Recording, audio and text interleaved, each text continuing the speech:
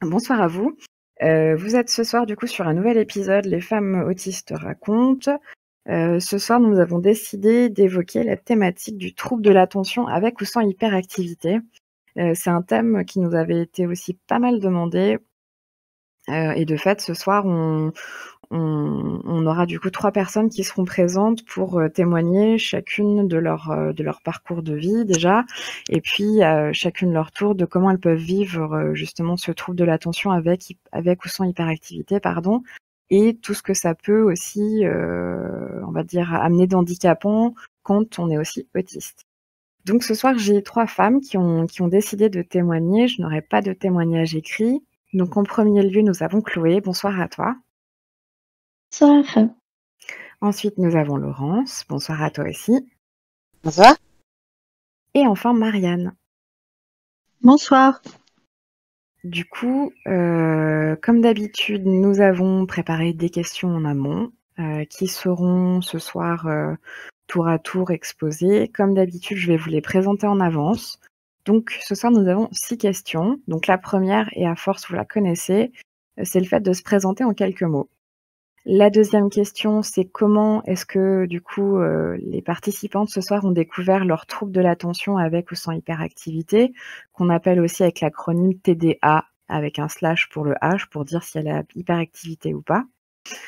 La question 3, quelles sont les différences entre le TSA, donc trouble euh, du spectre autistique, et du TDAH euh, la question suivante, du coup, c'est quels sont les soucis rencontrés avec ces troubles, relations, emploi, vie quotidienne? Bref, on peut écrémer pas mal de, thématiques. La question suivante, c'est comment on gère les facettes contradictoires entre le TSA et le TDAH, donc avec ou sans H. Hein. Quels sont les points positifs parce qu'on aime bien du coup garder aussi un petit côté positif dans le sens que, euh, ok, ce sont des handicaps, ce ne sont pas des super pouvoirs, mais néanmoins, ça nous permet dans une certaine mesure de réaliser des choses que des personnes ordinaires ne peuvent pas faire. Et le dernier mot pour la fin, du coup, c'est le fait le fait que si vous avez donc quand je dis vous, c'est nos témoignantes, un livre, un film ou autre à conseiller aux personnes qui nous écoutent, c'est le moment, euh, sachant que ce que vous allez proposer peut être en lien ou pas directement avec l'autisme. C'est juste quelque chose qui vous a aidé à un moment donné, qui vous tient à cœur, euh, qui vous touche, et vous avez envie de partager ça du coup avec les personnes qui nous écoutent. Euh, donc du coup, je vais reprendre le fil des questions au fur et à mesure et je vais commencer par la première, la plus importante. Donc mesdames, du coup, est-ce qu'il y en a une de vous qui souhaiterait se présenter, faire un petit point, un petit résumé sur, euh, sur sa vie?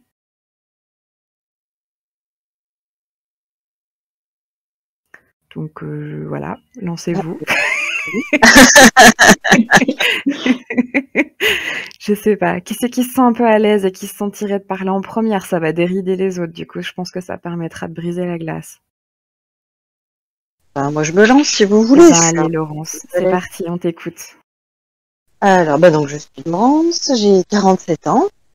Euh, j'ai entamé des démarches diagnostiques euh, de façon tout à fait tardive euh, en 2021. Euh, sur lesquels j'ai un prédiag du coup auprès d'une neuropsychologue euh, de TSA, de TDH et de HPI, avec un certain nombre de 10 qui se rajoutent, voilà. Et je vais faire valider ça prochainement à la fin du mois. Euh, donc ben, je je vis seule, j'ai peu de relations sociales. Euh, au niveau de mon parcours, euh, je dirais que j'ai toujours eu des doutes. Euh, je me sentais euh, vraiment euh, décalée, une petite fille seule. Euh, et quand j'étais pas seule, je me sentais vraiment à côté de la plaque. à mal décoder les, les, les choses, les, les, expressions, les relations. je répétais beaucoup de, devant la glace les, les scènes de, de séries ou de dessins animés quand j'étais petite parce que j'avais l'impression que il y avait des personnages qui étaient sympathiques pour les autres. Et je m'attachais à faire du mimétisme avec les personnages sympathiques. Mais du coup en fait dans la vraie vie ça marche pas. Dans la vraie vie on, se, fait flasher ouais ça marche pas. Les gens ils peuvent trouver des personnages très sympathiques à la télé mais en vrai euh, l'exemple type c'est Sheldon Cooper que vous doivent connaître. On l'adore, mais euh, vivre Un avec. personnage de Big Bang Theory, ouais. Une série Voilà. euh, américaine, ouais. Et puis, euh, bon, j'ai fait mon bonhomme de chemin euh, d'enfants euh, et d'adolescents euh, dans un milieu familial complexe euh, avec un père qui était hyper contrôlant et qui l'est toujours. Je, je suspecte avec l'éclairage actuel d'être lui-même concerné par, par les troubles du neurodéveloppement, mais qui lui gère complètement autrement. Voilà, c'est son choix. Euh, moi, j'ai fait beaucoup de crash. euh, maintenant que je sais que c'est des burn-out autistiques, mais je ne savais pas. Dans mon enfance et mon adolescence, euh, j'étais à peu près euh, hospitalisée, euh, je dirais tous les deux, trois ans, parfois jusqu'à cinq ans, j'avais des pauses où j'arrivais à tenir suffisamment longtemps. Et en fait, j'ai ma neuropsy m'a expliqué que j'avais surcompensé avec le HPI et Mm. qu'au bout d'un moment, avec mes petits bras musclés, en fait, ça tenait plus, quels que soient les efforts que je fasse. Et euh, en fait, ce que je ressentais à ce moment-là, c'était euh, l'impression d'avoir du bruit en permanence dans ma tête. Euh, pas dans le sens euh, où on peut penser schizophrène et compagnie, mais c'était vraiment ce que je retrouve dans les définitions du TDAH. Là, c'est le brouillard mental. Le fait qu'il y a trop d'informations en même temps, que le cerveau arrive plus à trier, à séquencer, à prioriser, qu'est-ce qu'on doit traiter, qu'est-ce qui est urgent, qu'est-ce qui n'est pas. C'est oublier ses clés 25 fois dans la journée, c'est euh, c'est plus savoir où on a rangé des trucs, retrouver dans des endroits improbables, euh, c'est avoir euh, 10 000 projets euh, d'affilée euh, euh, ou en même temps, en général, euh, en tête, euh, de vouloir se passionner pour euh, euh, la cause animale, pour euh, le comportement canin. Je crois qu'il y a d'autres fans dans le groupe.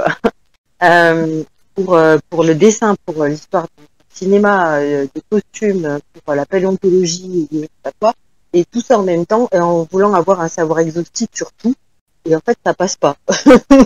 Bah ouais. ça passe pas parce que du coup, euh, il y a le facteur intérêt spécifique de l'autisme euh, aussi. Et on arrive à avoir des discours que les autres peuvent juste pas suivre parce qu'on devient expert dans un domaine qui est rare ou complexe. Euh, et à ça, vous ajoutez le problématique du TDAH avec le côté foisonnant où ça part dans tous les sens. Et euh, bref, donc j'ai fait de multiples crashs euh, avec des intérêts plus ou moins partagés, à évoluer relativement seul. Euh, et puis, euh, milieu professionnel, ça a été compliqué. J'ai eu aussi bien du harcèlement à l'école qu'au au boulot, avec des problèmes de hiérarchie, parce que je j'ai du mal à me positionner en position basse, c'est-à-dire que moi, on est tous égaux, et euh, si t'es mon chef, eh ben, c'est pareil, si t'es une connerie, je vais te le dire. Donc là, on est dans l'impulsivité du TDAH, du coup. Oui, et Euh. puis surtout aussi le, le, le, le besoin de justice et d'équité hein, qu'on retrouve euh, Mm. autant euh, dans l'autisme que sur le HPI. Voilà, complètement. Et donc l'un dans l'autre, j'ai fini par euh, trouver moi des moyens pour aller mieux. Je me suis occupée de moi, de moi-même, et j'ai surtout eu un super euh, teckel à mes côtés, un petit chien qui m'a accompagné pendant 13 ans. Et c'est au décès de celui-ci, donc fin 2021, où ma détresse prenait des proportions qui étaient folles. Parce qu'en fait, c'était mon seul ancrage euh, affectif, social, qui me permettait de sortir certaines choses. Et euh, en ayant un intérêt spécifique sur la psychologie, en ayant fait pas mal de boulot sur moi-même, je me suis dit, un, un, il y a vraiment un truc qui va pas, et c'est à un autre niveau, parce que j'ai traité beaucoup de traumas, et là, je réagis dans des proportions qui sont folles, euh, donc il y a autre chose. Et c'est là que j'ai entrepris ma démarche diagnostic, et j'ai bien fait, parce que si je soupçonnais le, le TSA depuis deux ans, le TDAH, je l'avais pas vu venir, et c'était très important d'être au courant. voilà pour mon parcours. Ok, merci Laurence du coup. Euh, mesdames, soit Chloé, soit Marianne, est-ce qu'il y a une de vous deux qui souhaite prendre la relève? Je me lance. Allez, vas-y, on t'écoute Chloé. Alors du coup, bah, moi c'est Chloé, vous l'aurez compris, j'ai 24 ans, euh, je travaille dans un refuge pour animaux et puis je suis aussi photographe euh, à mon compte à côté. Donc euh, moi, bah, mon parcours, donc j'ai été diagnostiquée, enfin au début je me suis, ça fait depuis que je suis euh, petite que je me questionne un peu sur moi, que je me rends compte que ben, c'est pas tout pareil dans le sens que les gens autour de moi, ils avaient pas l'air de fonctionner comme moi ou que plutôt le contraire, je ne fonctionnais pas comme eux. Euh, et puis euh, ça m'a c'est resté pendant un moment jusque c'est pas parti à l'adolescence, c'était toujours là.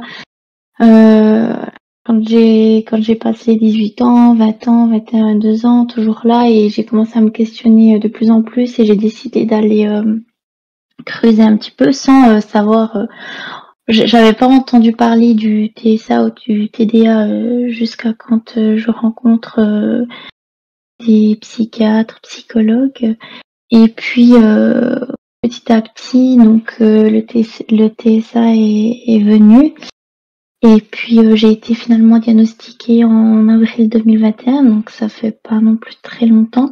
Ça fait un peu plus d'un an, ouais.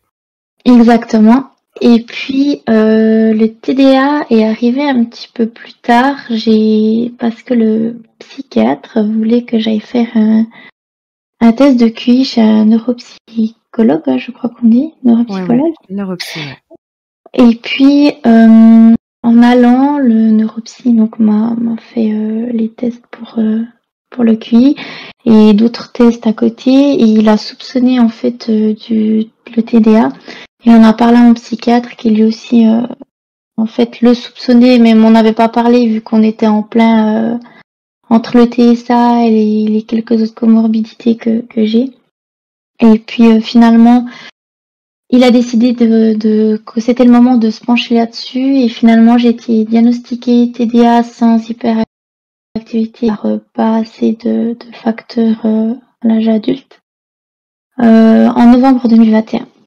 Du coup, ça fait pas très longtemps. Ok. Ok, d'accord. Et, je crois que j'ai un petit peu tout dit. oui, mais c'est déjà très chouette. Merci beaucoup, Chloé. Marianne, quant à toi, du coup, est-ce que tu souhaites euh, nous présenter sur toi?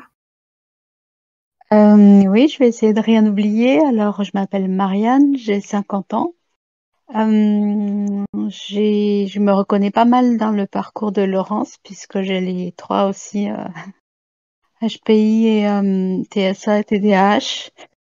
au potentiel, on le savait depuis petit, et puis, et puis on s'est un peu, on s'est un peu assis dessus, quoi. On n'a rien fait. et puis tout allait bien, enfin tout allait quoi. je, je me sentais pas bien, je me sentais pas comme les autres, mais euh, j'ai vécu ma vie, j'ai travaillé, j'ai fait des études, j'ai fait trois enfants. Et puis en fin euh, fin 2018, j'ai fait un énorme burn-out à mon travail. Euh, il y avait des gros problèmes, la boîte commençait à, à prendre l'eau. Et euh, donc le remplaçant de mon médecin généraliste m'a arrêté, m'a mis sous Prozac, m'a dit c'est une dépression, un burn-out, je sais pas trop. Et euh, au bout de quelques mois de renouvellement de médicaments, j'allais pas mieux du tout, du tout, du tout. Et elle m'a dit, ben, trouvez un psychiatre. La bonne blague, j'ai dû en appeler 200. Euh, personne, personne ne prenait de, de nouveaux patients. Et elle m'a dit, bah, essayez euh, un CMP, on sait jamais. Alors, euh, moi, dans mon idée, c'était CMP, deux ans d'attente. Euh, j'ai appelé le plus proche de chez moi. j'ai eu 45 minutes d'entretien. Moi, je pensais juste qu'on prenait un rendez-vous. c'est bien, c'est pas courant. Hein. Ah non, mais moi, j'ai un parcours, je vais vous dégoûter toutes, hein, je pense. ok. C'était un rendez-vous 15 jours après. J'avais un rendez-vous avec un très très très vieux psychiatre euh, qui devait avoir euh, l'âge de mon papa, donc euh, largement passé l'âge de la retraite, mais adorable. Et qui, à le deuxième rendez-vous, m'a dit Est-ce que vous savez ce que c'est le TDAH Et il se trouve que j'ai une amie dont l'enfant est concerné, donc je lui dis Oui, c'est un truc de petit garçon qui grimpe au rideau, qui se casse tout le temps le bras, et voilà quoi. Et il m'a dit Alors, pas forcément. Et il m'a fait passer un peu les, tests, et là, c'était très flagrant. Et puis, il m'a mis sous traitement médicamenteux et c'est allé beaucoup mieux, donc j'ai décidé de reprendre le travail. Et c'était pas du tout une bonne idée. Euh, donc j'ai repris pendant 15 mois. Euh, comme ça n'allait pas mieux du tout, euh, parallèlement, j'ai été orientée sur une consultation de psychopathologie du travail qui venait d'être créée. Et je suis tombée sur une psychiatre formidable qui m'a suivi tout ce temps-là. Donc j'ai repris le travail contre son avis parce que ma boîte allait toujours de plus en plus mal et je me suis dit je vais être la première éjectée si je suis encore euh, en arrêt maladie. Donc j'ai repris le boulot. Et euh, donc cette dame m'a suivie euh, et au bout d'un moment, elle me dit mais je sais plus trop quoi faire avec vous. Je et je lui dis en rigolant, il y a que les tests de l'autisme qu'on n'a pas passé. Euh, et elle me dit ah bah tiens oui c'est une bonne idée. Et euh, sachant que elle son service c'est dans le même euh, dans un centre médical. Alors je vais essayer de pas trop en dire. où il y a différents services et dont un centre autisme. Donc elle m'a fait passer les échelles de test et un mois après mon dossier était passé en commission, j'avais mon diagnostic écrit noir sur blanc. Donc c'est allé super vite. Oui, en effet, ouais. Bah, c'est pas commun, euh, en effet, généralement les CMP, donc centres médico-psychologiques, on est plutôt sur deux ans d'attente, en effet, sur les régions. Donc là, ouais, t'as, disons que tu as eu la chance de pouvoir être prise en charge beaucoup plus rapidement que ce qui est prévu. Oui, euh, je pense qu'il y a un facteur, euh, un facteur social, c'est que je vivais seule avec trois ados et que c'est un petit peu là-dessus qu'ils m'ont questionné au téléphone et je pense que c'est pour ça que c'est allé vite parce qu'ils se disaient il y a peut-être des gamins qui vont pas bien dans cette histoire. Et, et, voilà. Bon ils vont bien d'ailleurs. Je pense à booster un peu mon parcours. Et puis cette cette dame là de la consultation de psychopathologie du travail vraiment super.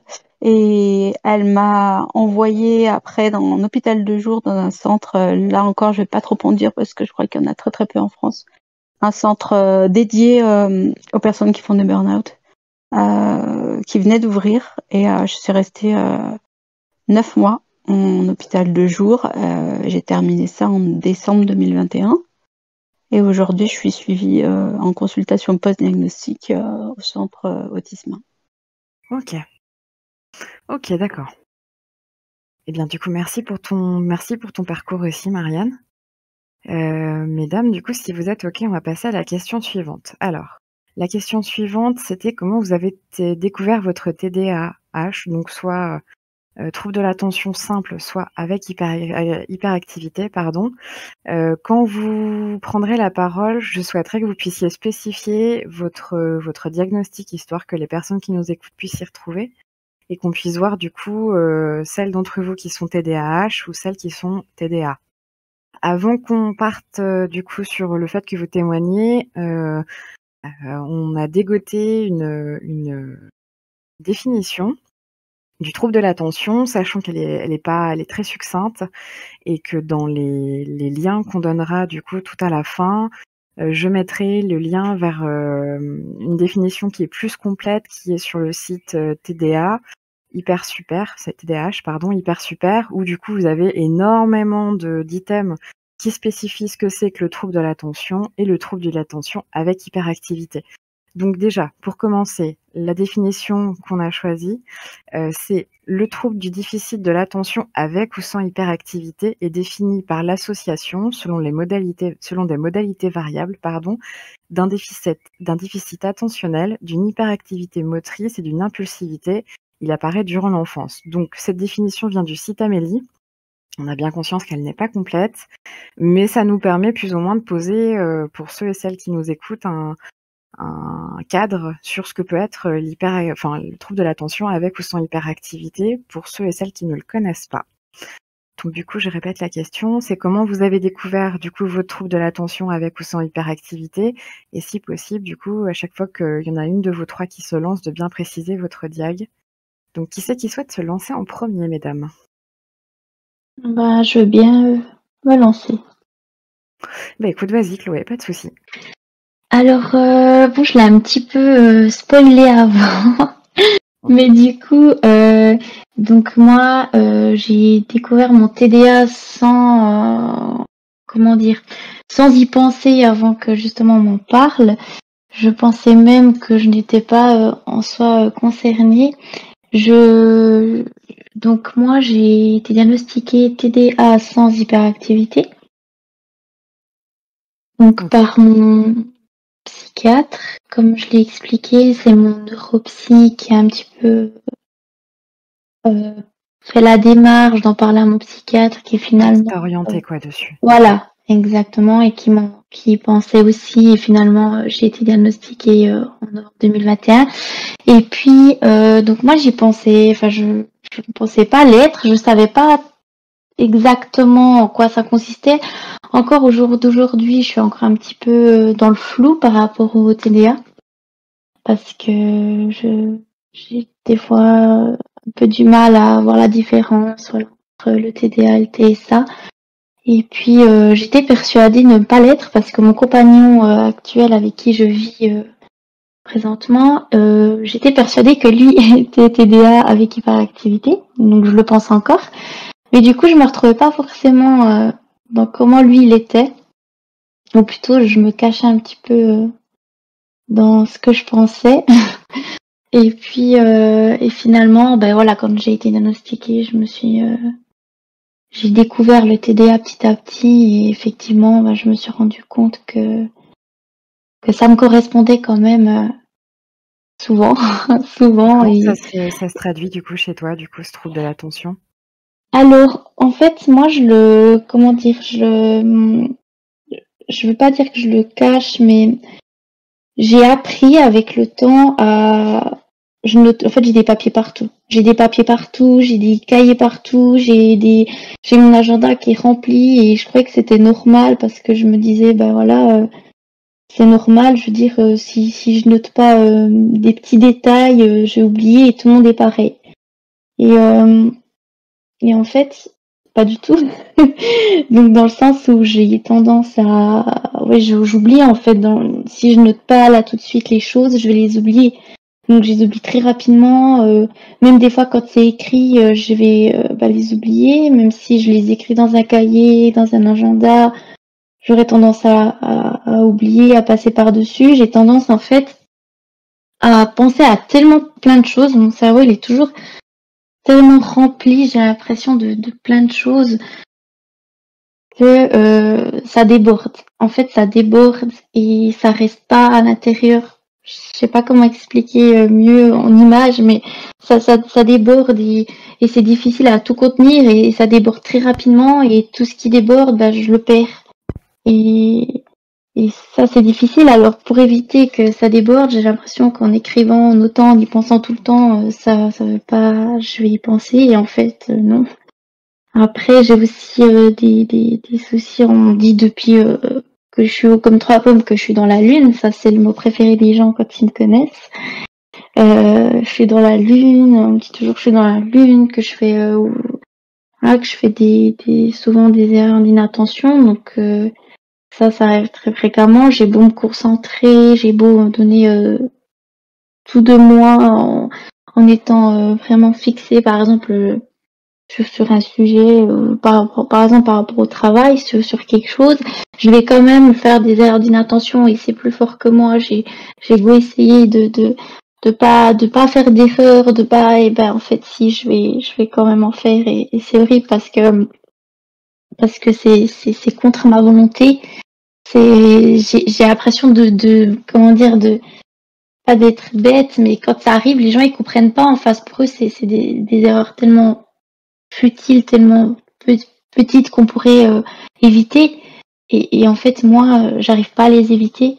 Et, c'est horrible parce que j'ai l'impression qu'on me regarde et qu'on parle comme si j'étais un petit peu un peu un peu bête. C'est peut-être pas ce que les gens pensent, mais c'est ce que je ressens et, ça ça donne un sacré impact sur sa confiance confiance en soi.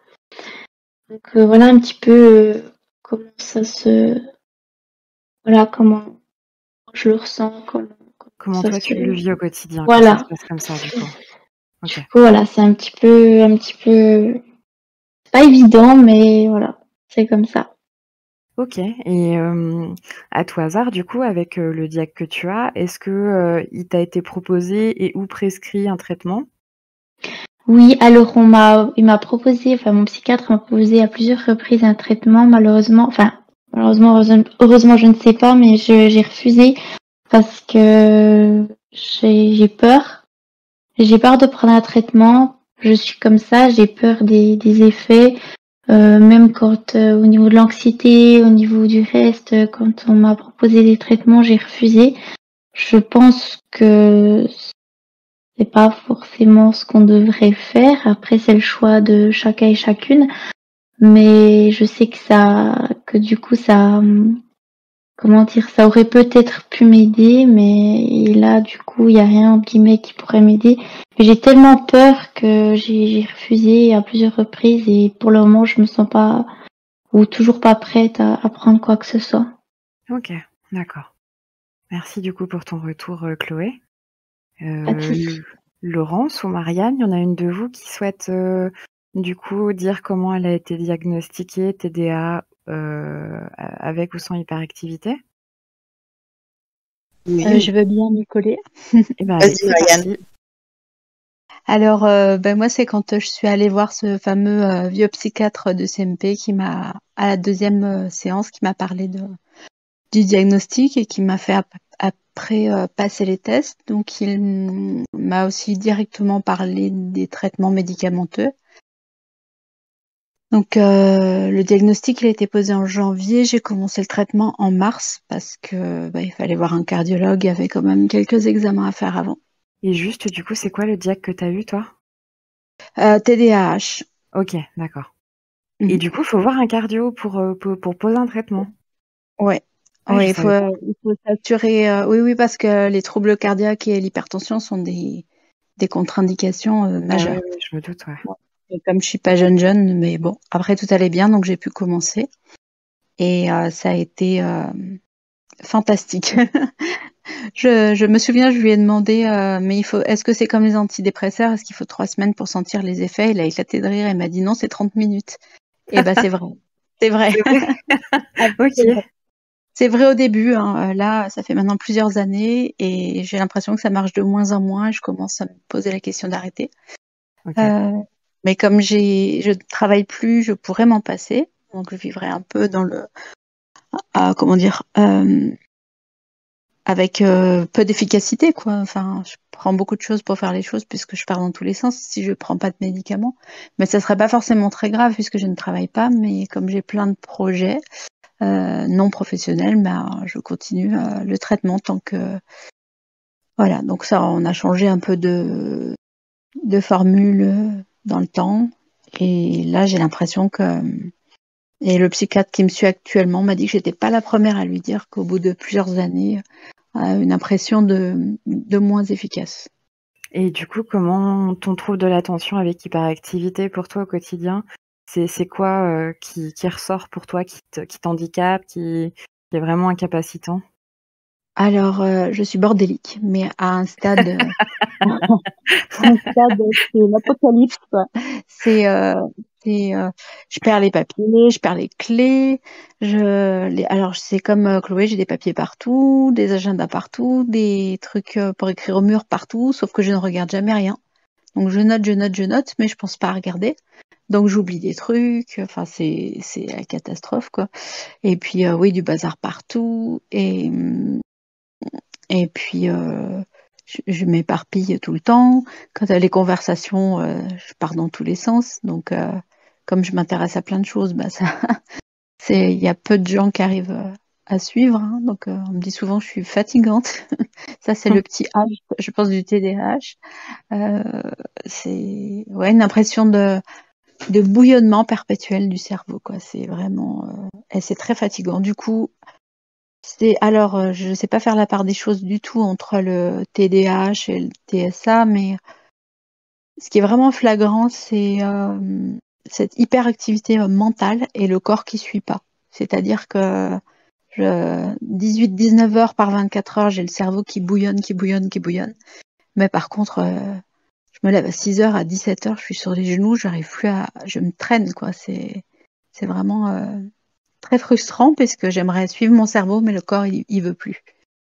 Donc, du coup, euh, si, si, je suis, parce que là, du coup, euh, si on se base sur la, la définition que j'ai citée plus tôt, du site Amélie, donc de la CPM, toi, du coup, tu, tu, as une hyperactivité motrice ou c'est plutôt mentale, intellectuelle? c'est les deux. C'est les deux. Du coup, tu t'es, comment ça se décrit? C'est tu bouges tout le temps et t'arrives pas à t'arrêter? Euh, oui, alors j'ai j'ai je masque, je masque énormément, donc heu, je bouge, mais en général, je m je me m'arrange pour que ça se voit pas. Par exemple, en réunion, heu, j'ai des blocs-notes, heu, tout le monde doit se dire: «Oh, elle est super sérieuse, elle note tout». En fait, non, je fais des petites damiers, heu, je colorie les petits carreaux, heu, voilà, pour, heu, parce que c'est soit ça, soit je me balance sur la chaise et heu, je finis par tomber en arrière, enfin, donc heu, j'ai des techniques de de remuer le pied, mais heu, sous la table, que ça se voit pas, Mmh. heu mais voilà, je me suis toujours, heu, canalisée, enfin pas canalisée, mais heu, limitée pour que ça se voit pas trop, que ça gêne pas trop l'entourage. Mais si je me lâchais, oui, ça serait plutôt du style à me balancer sur les chaises, à me lever, à m'asseoir, heu, Mmh. un peu comme un ressort, quoi. Et s'il advienne que tu freines justement, plutôt que de masquer, enfin, parce que j'en j'entends le terme de masquer pour pas que ce soit trop, trop visible, mais si par exemple tu prends sur toi de de vouloir bouger, il se passe quoi dans ta tête? Tu Tu veux dire si si je m'autorise à le faire? Non, non, si tu te restreins justement, tu dis: Ah, «Heu, je j'aurais besoin de me lever, de pardon. faire ci». Ouais, si du coup tu te bah, tu je prends sur toi, quoi. ouais, je bah, je prends tout le temps sur moi, en fait, tout le temps, tout le temps, tout le temps, donc c'est un peu usant, donc Ouais, c'est ça peu. ouais, c'est exactement ça et du coup, ça me pollue, ça me prend la tête et après, bah, par exemple, dans une réunion, je vais décrocher parce que je pense plus qu'à ça. Faut que Ouais. je sorte, que je me lève, heu, voilà, mais non, ne le fais pas, donc je fais une grande discussion avec moi-même: «Reste tranquille, heu, faut que je sorte». «Non, tu restes tranquille». Heu OK. OK, OK. Tu avais d'autres choses à pouvoir rajouter du coup vis-à-vis de de ton de ton Hem diagnostic TDAH? Alors, heu, oui, moi quand, heu, quand j'étais, quand j'ai été orientée donc par la généraliste, heu, vers un psychiatre et donc j'ai trouvé ce cette place en, En CMP? CMP, Mmh. quand le psychiatre m'a demandé: «Qu'est-ce qui vous arrive?» et je lui ai dit: «Heu, je pense que j'ai la maladie d'Alzheimer» et il a rigolé, il a Ah oui, il a rigolé, ouais, ouais, il a rigolé, il a dit: «Non, je devrais pas rire parce que ça c'est ça existe les formes précoces, donc c'est pas drôle», Ouais, mais ouais. «Je pense pas que ce soit ça» et ah ouais, là, j'étais tellement, tellement en surcharge, que je perdais vraiment, je enfin, là, c'était même plus de la charge mentale, c'était j'étais en explosion du cerveau en permanence, heu, j'arrivais plus à rien. C'était vraiment, heu heureusement que mes enfants étaient déjà un petit peu grands parce que je pense que j'aurais pu en oublier un quelque part ou c'était à ce stade-là, petite note, heu, du coup pour les parents qui en ont marre de leurs gamins, dites que vous êtes TDAH du coup. Vous les abandonnez quelque part, c'est pas grave, ça passe. Ni vu ni connu, impeccable. OK, merci Marianne du coup. Hem, Laurence de ton côté, comment est-ce Mmh que tu as été diagnostiquée, heu, et quel diagnostic tu as eu?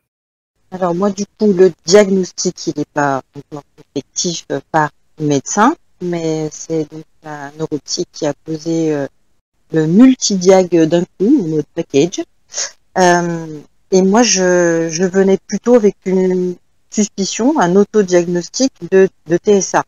Heu et donc dans ma description de mon vécu, de mes difficultés, de enfin, concrètement, j'étais dans une période, comme je vous l'ai dit, de très grande souffrance, heu, émotionnelle par rapport à mon chien qui a été malade pendant des mois, heu, que je portais à bout de bras, mais j'avais que ça en tête H24 puisqu'il avait des problèmes respiratoires.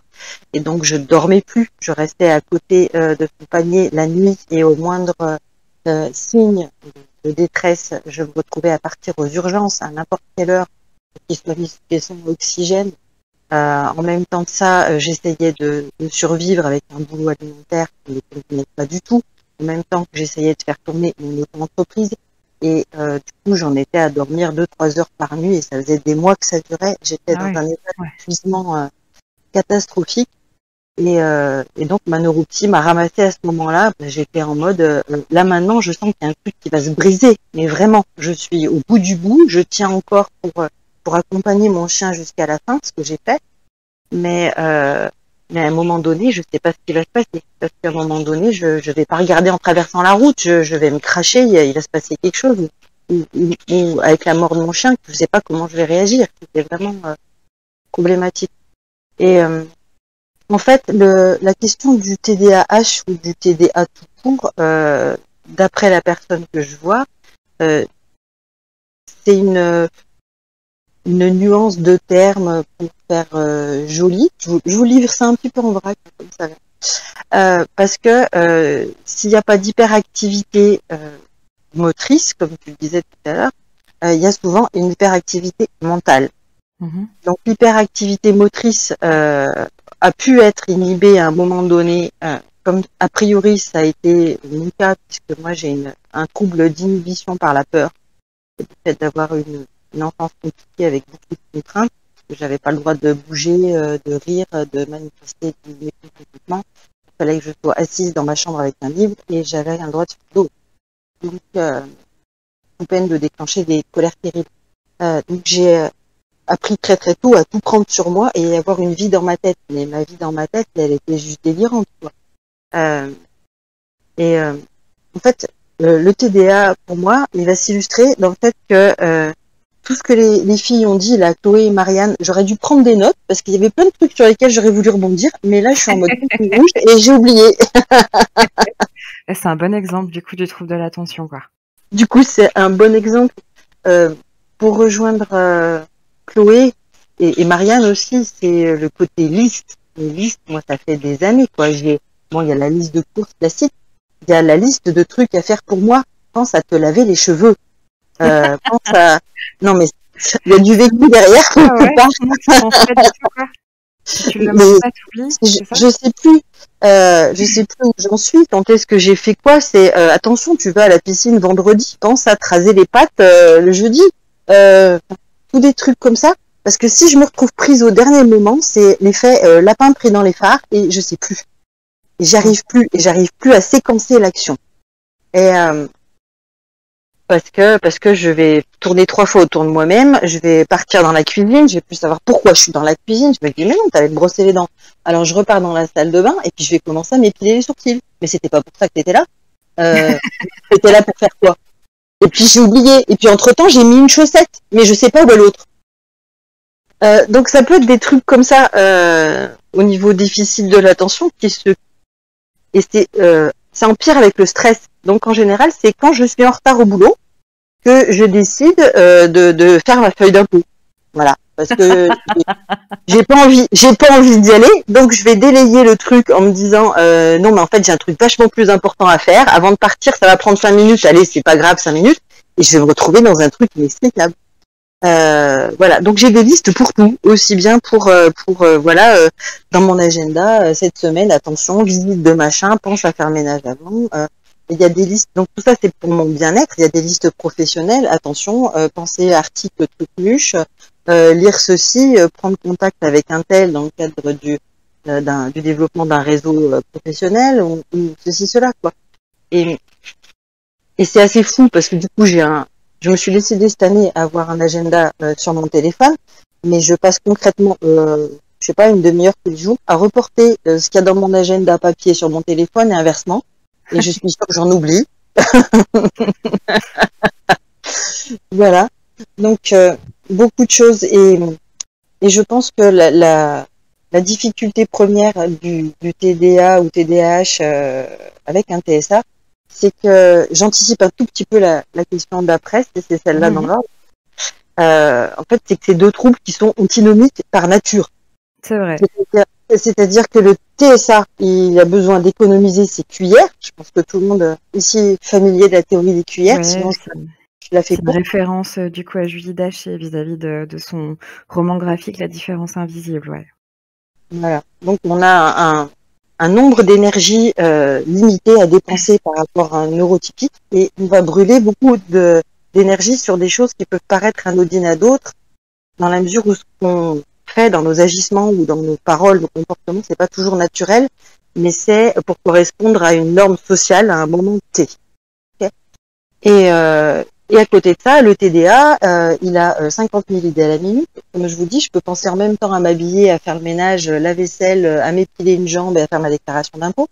Et je vais tout faire en même temps. C'est-à-dire, je ne vais pas arriver à séquencer euh, l'action. Euh, L'exemple type, je crois, d'après les témoignages que j'ai pu lire, qu'il y a beaucoup qui sont comme moi, qui n'arrivent pas à faire la vaisselle en une fois. Parce que c'est un truc rébarbatif, parce que c'est casse-pied, parce que parce que ça fait du bruit accessoirement, euh, s'il y a une, sens- hyperacousie comme c'est mon cas. Euh, donc euh, voilà, je vais laver une catégorie de trucs ou dans le désordre, ce qui dépasse de la pile. Et puis je vais partir faire autre chose parce que ça m'a mangé des cuillères et de l'attention euh, sur un truc qui m'embête. Donc euh, j'arrête tout, je plante là et je vais commencer autre chose à côté euh, pour revenir après ou pas, suivant euh, comment comment j'y pense. Donc euh, j'arrive à structurer un peu mieux mon bordel, comme l'évoquait Marianne maintenant, Euh, mais hum, ça, un truc qui persiste, c'est que j'ai des problèmes pour trier les choses.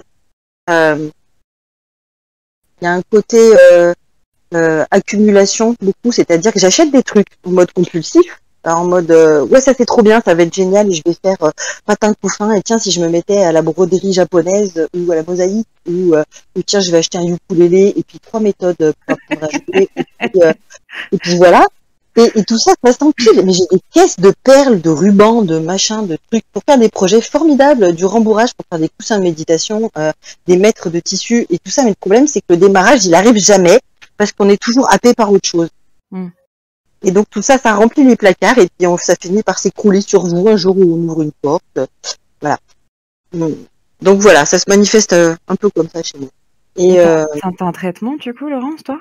Ben, non, parce que moi, du coup, je vois le, le psychiatre euh, à la fin du mois et moi, je rêve du méthylphénidate. Ça fait depuis que je sais que je suis TDAH que je dis ah mais donnez-moi cette molécule, je vais enfin réaliser tous mes trucs de fou que j'ai dans la tête.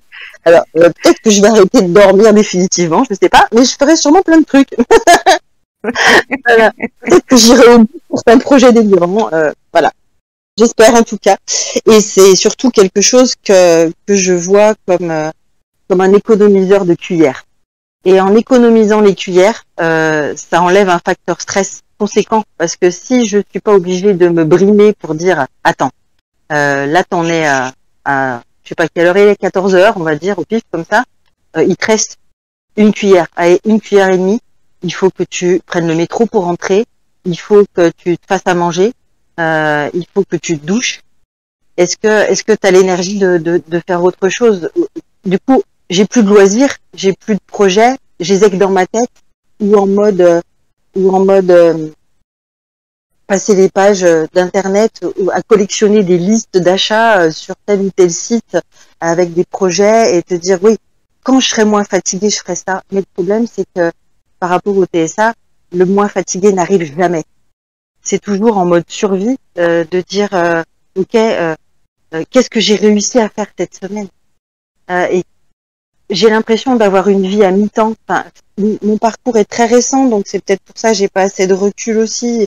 Et, et je mets des mots sur un parcours de vie euh, maintenant, donc c'est pour ça que je suis peut-être très loquace. Désolée les copines. Euh, mais euh, du coup, j'ai perdu mon fil. Là, voilà, un autre exemple. Et Oui. dire, le poisson rouge est passé par là. Et euh, donc, oui, c'est le facteur angoisse de dire, euh, ok, je, je sais qu'avec euh, la molécule, je vais avoir une capacité de concentration pendant 4 ou 5 heures et que ça va marcher. Et que je vais pas me retrouver à me couper les ongles ou à faire la vaisselle ou la poussière en mode euh, compulsif parce que j'arrive pas à me concentrer mentalement sur autre chose. qu'il faut que je fasse un truc euh, euh, dans l'action. Euh, donc voilà, il y aura vraiment pour moi, c'est cette attente que j'ai d'avoir une capacité de concentration suffisante pour pouvoir euh, me jeter dans un bouquin qui de, de science qui va me passionner, euh, mais, mais sans la molécule, euh, il va falloir vraiment que je reprenne plusieurs fois la même page où, où je vais me lasser beaucoup plus vite parce que la capacité de concentration sera pas assez bonne.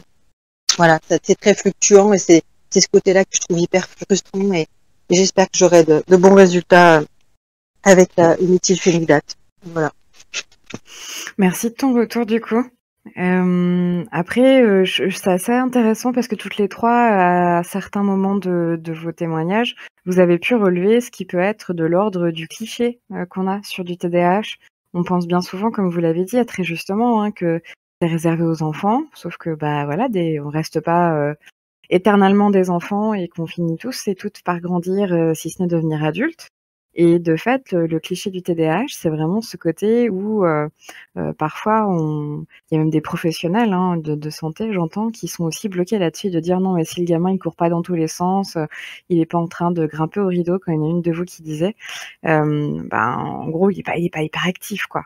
pas hyperactif. Euh, et ça, je trouve que c'est aussi dommageable euh, parce qu'au final, euh, sous cette étiquette de hyperactivité, il y a plein plein d'autres trucs derrière. Et aussi, la chose que je, rencontre souvent de mon côté, c'est que je, je, trouve que le côté, enfin le trouble de l'attention avec ou sans hyperactivité, ça déclenche chez les gens quand, on en parle, parce que je suis concernée aussi, c'est ce côté en fait où c'est mignon, c'est attachant, c'est attendrissant, c'est rigolo, euh, avec des retours de ah, on ne doit pas s'ennuyer avec toi. Alors oui, on ne s'ennuie pas, mais en même temps, ben c'est pas si mignon et si sympa que ça parce que bah autant de l'extérieur pour les personnes qui nous voient euh, quelques fois dans le mois ou quelques heures par semaine, bah c'est fun, on va dire. Mais pour les personnes qui nous subissent au quotidien, ça l'est moins. Euh, les gros coups de speed à 3 heures du mat, de passer l'aspirateur ou euh, de commencer un projet X ou Y, c'est moins cool, quoi. Donc euh, il y, a, aussi ce côté-là, je pense, qui est très très important et c'est bien qu'on puisse en parler dans, ce podcast. C'est ce côté, ok, ça a l'air très chouette, euh, ça a l'air très mignon, ça a l'air très attendrissant, mais la réalité, c'est que ça l'est pas toujours, ça l'est même pas du tout, et que même si quand on en parle, du coup, ça peut prêter à sourire, euh, au fond de nous, c'est quand même une souffrance euh, quelque part, et surtout que bah, l'hyper, enfin, le trouble de l'attention avec ou sans hyperactivité, on retrouve des grandes lignes, mais encore une fois, c'est différent en fonction des personnes. Il y en a certaines, certains, certaines, ça peut être physique, que physique, d'autres que mental, d'autres physiques et mental. Donc je pense que c'est bien aussi qu'éventuellement les professionnels euh, qui reviennent à nous diagnostiquer soient aussi euh, correctement sensibilisés à ça. Mais euh, en tout cas, c'est chouette que vous ayez pu me parler de tout ça. Et j'en viens à me dire, parce qu'en même temps, moi, je fais aussi ma liste hein, pendant que vous parlez, sur des choses à rebondir. Sinon, c'est pas drôle. Il y a aussi le fait qu'on a tendance à souvent couper la parole. Parce que vu qu'on va perdre le fil de ce qu'on est en train de dire, c'est attends, attends, attends, attends, attends, attends, t'as dit un truc super important, t'as pas terminé ta phrase, c'est pas grave. Euh, J'ai besoin de savoir ça. Réponds-moi. et du coup, ça part sur autre chose. D'ailleurs, je... Oui, vas-y. Pardon. D'ailleurs, euh, je voulais euh, te couper par rapport à ce que tu as dit au début, que les personnes disaient que c'était quelque chose de très attendrissant, euh, voilà, quelque chose de mignon. Ce que j'entends aussi souvent, c'est ce qu'on m'a souvent dit, c'était qu'en ce moment, c'est pas que c'est à la mode, mais que ouais. que, que un peu tout le monde l'a, ou que ou qu'on l'entend souvent, ou que la plupart des personnes dans l'entourage auraient un TDA. C'est quelque chose qu'on entend souvent, donc on normalise on le normalise comme si c'était quelque chose euh, de, de simple. voilà, exactement. Si on est chiante, euh, c'est parce qu'on est hyperactive, hein, c'est tout. Exactement. Exactement. Ou si on est dans la lune, c'est parce que voilà, on a, on a TDA et c'est euh, c'est rien, c'est juste être un peu dans la lune, c'est juste un peu voilà, c'est. Puis l'histoire aussi, je pense qu'il y a aussi le côté de euh, alors bien souvent, mais ça je pense que c'est pour tous les diacres qu'on a pu avoir, hein, euh, c'est le côté euh, non mais elle a juste envie de faire son intéressante, mais tellement, mais totalement. en fait, j'ai toujours rêvé d'attirer l'attention du coup sur plein de trucs qui me pourrissent la vie, mais j'ai très envie de les partager avec vous. c'est ça. Mais oui, du coup, c'est c'est quand même handicapant. Et je me posais la question aussi, vous avez des troubles du sommeil ou pas? Oh oui. Ouais, c'est compliqué du coup euh, d'arriver à parce que moi j'entends bien cette fatigue puis d'ailleurs ça me fait penser, vous avez toutes parlé de euh, euh, c'est très speed et puis à un moment donné le soufflet retombe quoi, alors qu'on a souvent aussi le côté l'hyperactivité, on s'arrête jamais et c'est tout le temps la patate tout le temps, ouais, sauf qu'au bout d'un moment notre corps il nous dit merde aussi.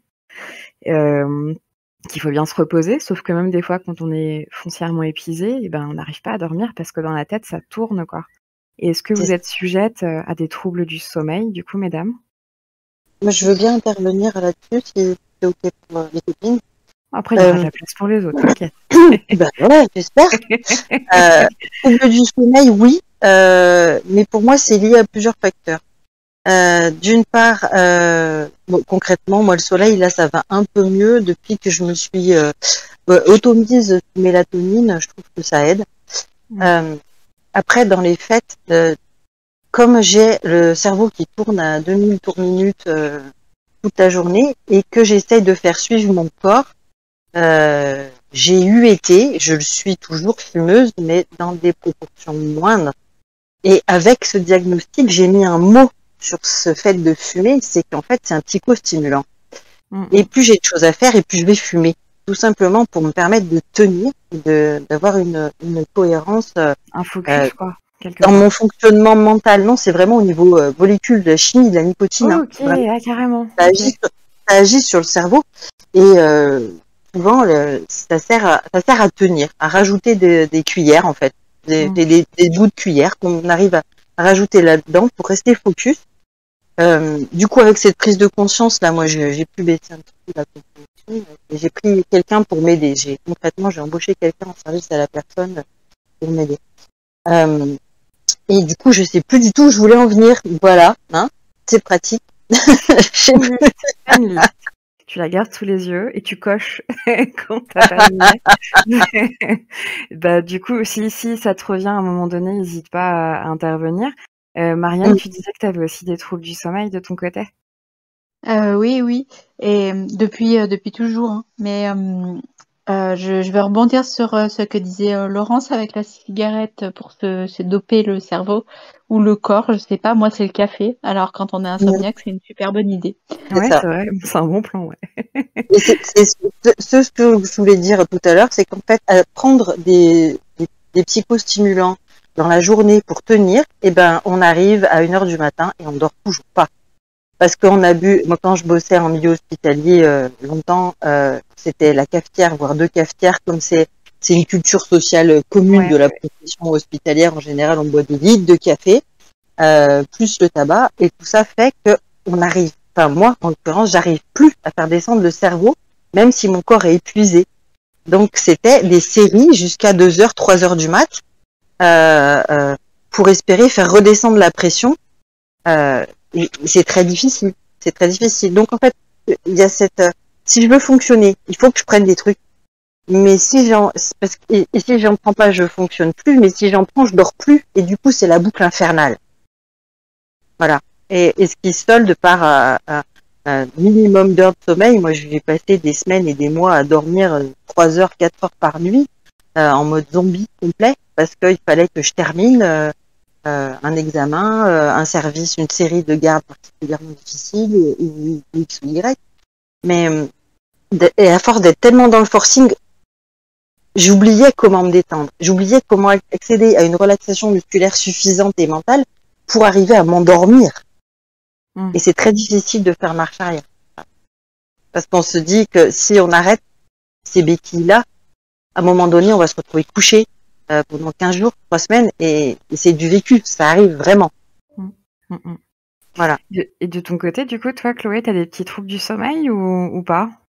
Alors moi, alors je, je- en fait j'ai un souci, c'est que j'ai, j'arrive pas à m'endormir dans le sens où j'ai besoin de ressentir une fatigue extrême pour. euh, en fait, il faut que je tombe de fatigue pour m'endormir. C'est vraiment, euh, j'ai besoin de tomber de fatigue. Euh, Il y a certaines fois où ça, ça vient pas parce que je ne sais pas. En fait, je, je, comment dire, je ressens pas quand je suis fatiguée. Il faut vraiment que ce soit extrême. Quand je, je suis fatiguée, c'est c'est vraiment une fatigue extrême et c'est trop tard. C'est que j'arrive même pas à aligner deux mots devant moi et c'est vraiment là que je vais me dire, bah là, euh, stop quoi. Puis jusqu'à arriver à ce stade-là, je ressens pas de symptômes. Je, j'arrive pas à prévenir la fatigue avant qu'elle soit beaucoup trop extrême. Du coup, je me retrouve dans des stades où j'arrive même pas à aligner deux mots devant moi et là, je me dis, ah ouais, peut-être que là, c'est un petit peu trop. Et Mm. dans ces moments-là, je vais réussir euh, à m'endormir, mais c'est pas tout le temps. Donc, euh, je m'endors euh, très tard, je dors très peu parce que ça, il y a toujours plein de choses dans ma tête et j'arrive tout simplement pas. Je sais, sais pas comment expliquer. J'arrive pas à m'endormir tant que je tombe pas de fatigue finalement. Que je vois mon, mon compagnon, il est là à côté de moi, il s'endort en deux minutes, il arrive même à dormir debout. Et puis moi, je suis là à côté et, et je l'entends ronfler une heure, deux heures, trois heures et ça vient pas. Et c'est vraiment, c'est vraiment embêtant, quoi. Il faut vraiment que, que je tombe de fatigue. J'essaie de m'occuper l'esprit, du coup, parce que le truc du, bah, il faut éteindre le téléphone, faut pas faire ci, faut pas faire ça, faut, faut essayer de s'endormir. Bah, je l'ai déjà essayé, ça fonctionne pas. Du coup, je, j'essaye de, de, d'activer mon cerveau pour qu'il se fatigue euh, encore plus vite, alors que mon corps, lui, il en peut déjà plus pour, euh, pour, euh, pour euh, enfin tomber de fatigue, quoi. Et un trait, tu utilises un traitement ou un- une astuce pour arriver à te détendre un petit peu? Non, après, je pense qu'il n'y a pas que le TDAH chez moi, c'est-à-dire que je suis aussi euh, très anxieuse. Je pense que ça aide pas, parce que du coup, je rumine énormément dans ma tête, entre autres, euh, mettons de côté, voilà, les choses, euh, les choses de la vie, euh, etc. Il y, a, y a quelque chose qui doit se passer le lendemain, je vais ruminer là-dessus euh, toute la nuit, et puis ça aide pas. Mais non, je prends pas de traitement parce que de nouveau, euh, comme je l'ai expliqué euh, avant, j'ai j'ai une peur bleue euh, de prendre des médicaments. Vous savez, je suis, je suis un peu le- celle qui va lire tous les effets secondaires de, de- du d'un médicament et finalement va se dire ah ouais non, euh, je préfère encore euh, crever un petit peu de mal à la tête euh, au lieu de prendre le médicament puis de risquer d'avoir un ulcère à l'estomac ou ce genre de choses, vous voyez. Ouais, ouais, je Du coup, vois. du coup, euh, du coup, je, je, je suis tellement anxieuse que je vais trop m'arrêter sur euh, les effets secondaires qui sont, euh, on va dire, à tel effet secondaire avec 2% de chances d'arriver. Je me dirai, ah ben moi, je vais, avoir le, je vais être le 2% de la population. Tu es le mouton noir des contre-indications médicales, quoi, c'est ça. Voilà. Voilà. Du coup, c'est pas forcément bien, mais voilà, j'espère que, que je vais, euh, voilà. Peut-être que certaines fois, il faudrait que je passe par-dessus et que, et que je veuille bien utiliser un traitement. Par exemple, euh, euh, ouais, il y a des traitements ou pas. Enfin, il y a des, euh, euh, il y a des, des, il y a des bruits blancs, t'as des espèces de.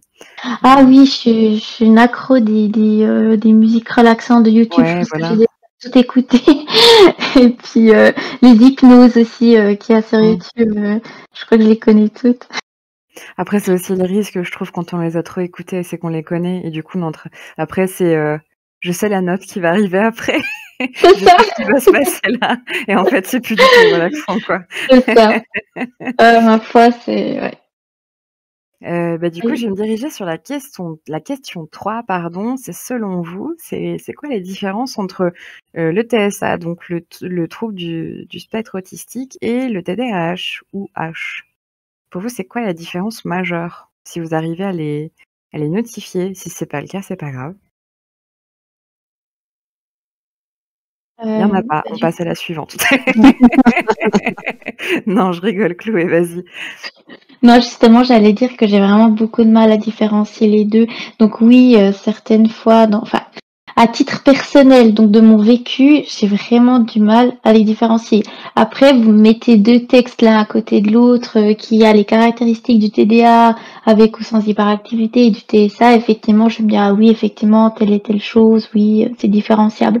Mais à titre privé et personnel, maintenant, quand j'y pense ou quand je le vis, c'est flou pour moi. J'ai vraiment du mal à, à me situer là-dedans. J'en parle encore avec mon psychiatre. euh, C'est vraiment difficile. Et même lui m'a dit que autant c'est hyper contradictoire certaines caractéristiques, autant c'est hyper flou aussi parce que il y a certaines choses qui peuvent ressembler comme vous, vous regardez, alors que c'est pas tant ressemblant que ça, mais vous regardez par exemple l'hyperfocus dans le TDA et Mhm. le et le les, euh, les intérêts spécifiques, Mm, c'est flou. Mais en soi, ok, on- si on détaille bien, effectivement, on peut les différencier, mais, mais à, à vue d'œil, comme ça, et, et ou vécu, c'est comme assez flou.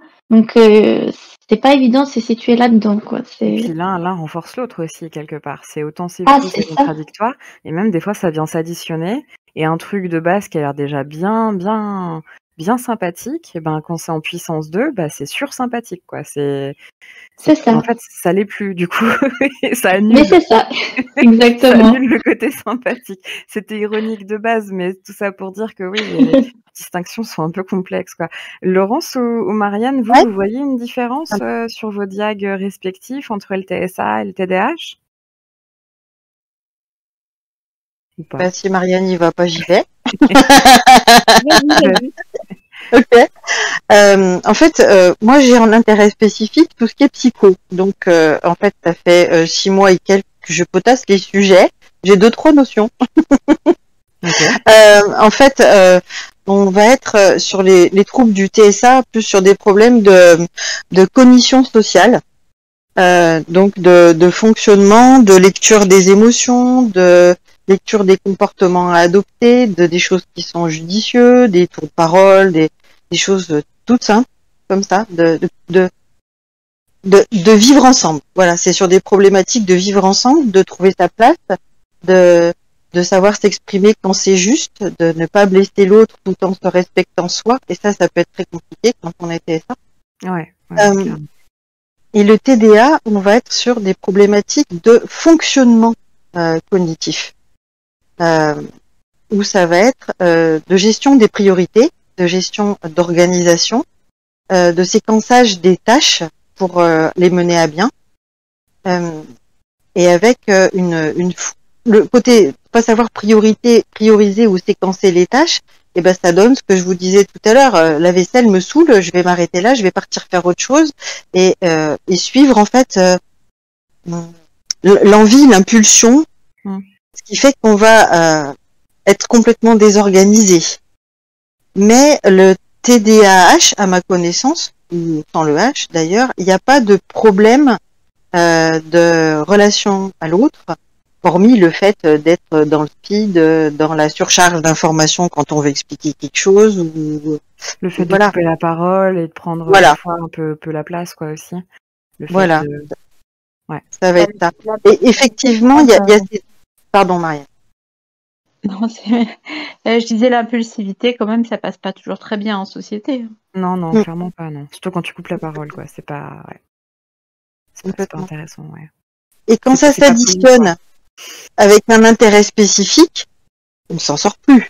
Bah là, c'est jackpot, en fait. C'est ça. Et la personne en face, elle se dit, mais putain, sur qui je Voilà. tombe? Parce que C'est y a un flot d'informations. Et, Mm. et je T'as pense mis qu'en 10 plus, balles, t'en euh, as pour deux heures.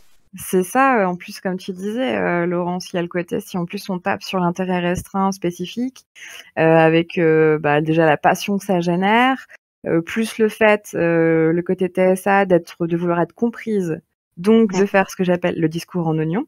Du coup, je vais expliquer tout ce par quoi je suis passée pour en arriver là, pour que tu puisses bien comprendre. fait, là, du coup, il y a le côté aussi euh, trouble de l'attention qui dit qu'en fait, on va noyer l'autre euh, sous la tonne d'informations qu'on va donner. Et en fait, à vouloir être trop comprise, ben en fait, on ne l'est plus du tout. En fait, et on passe juste pour une meuf chiante au final. Ouais.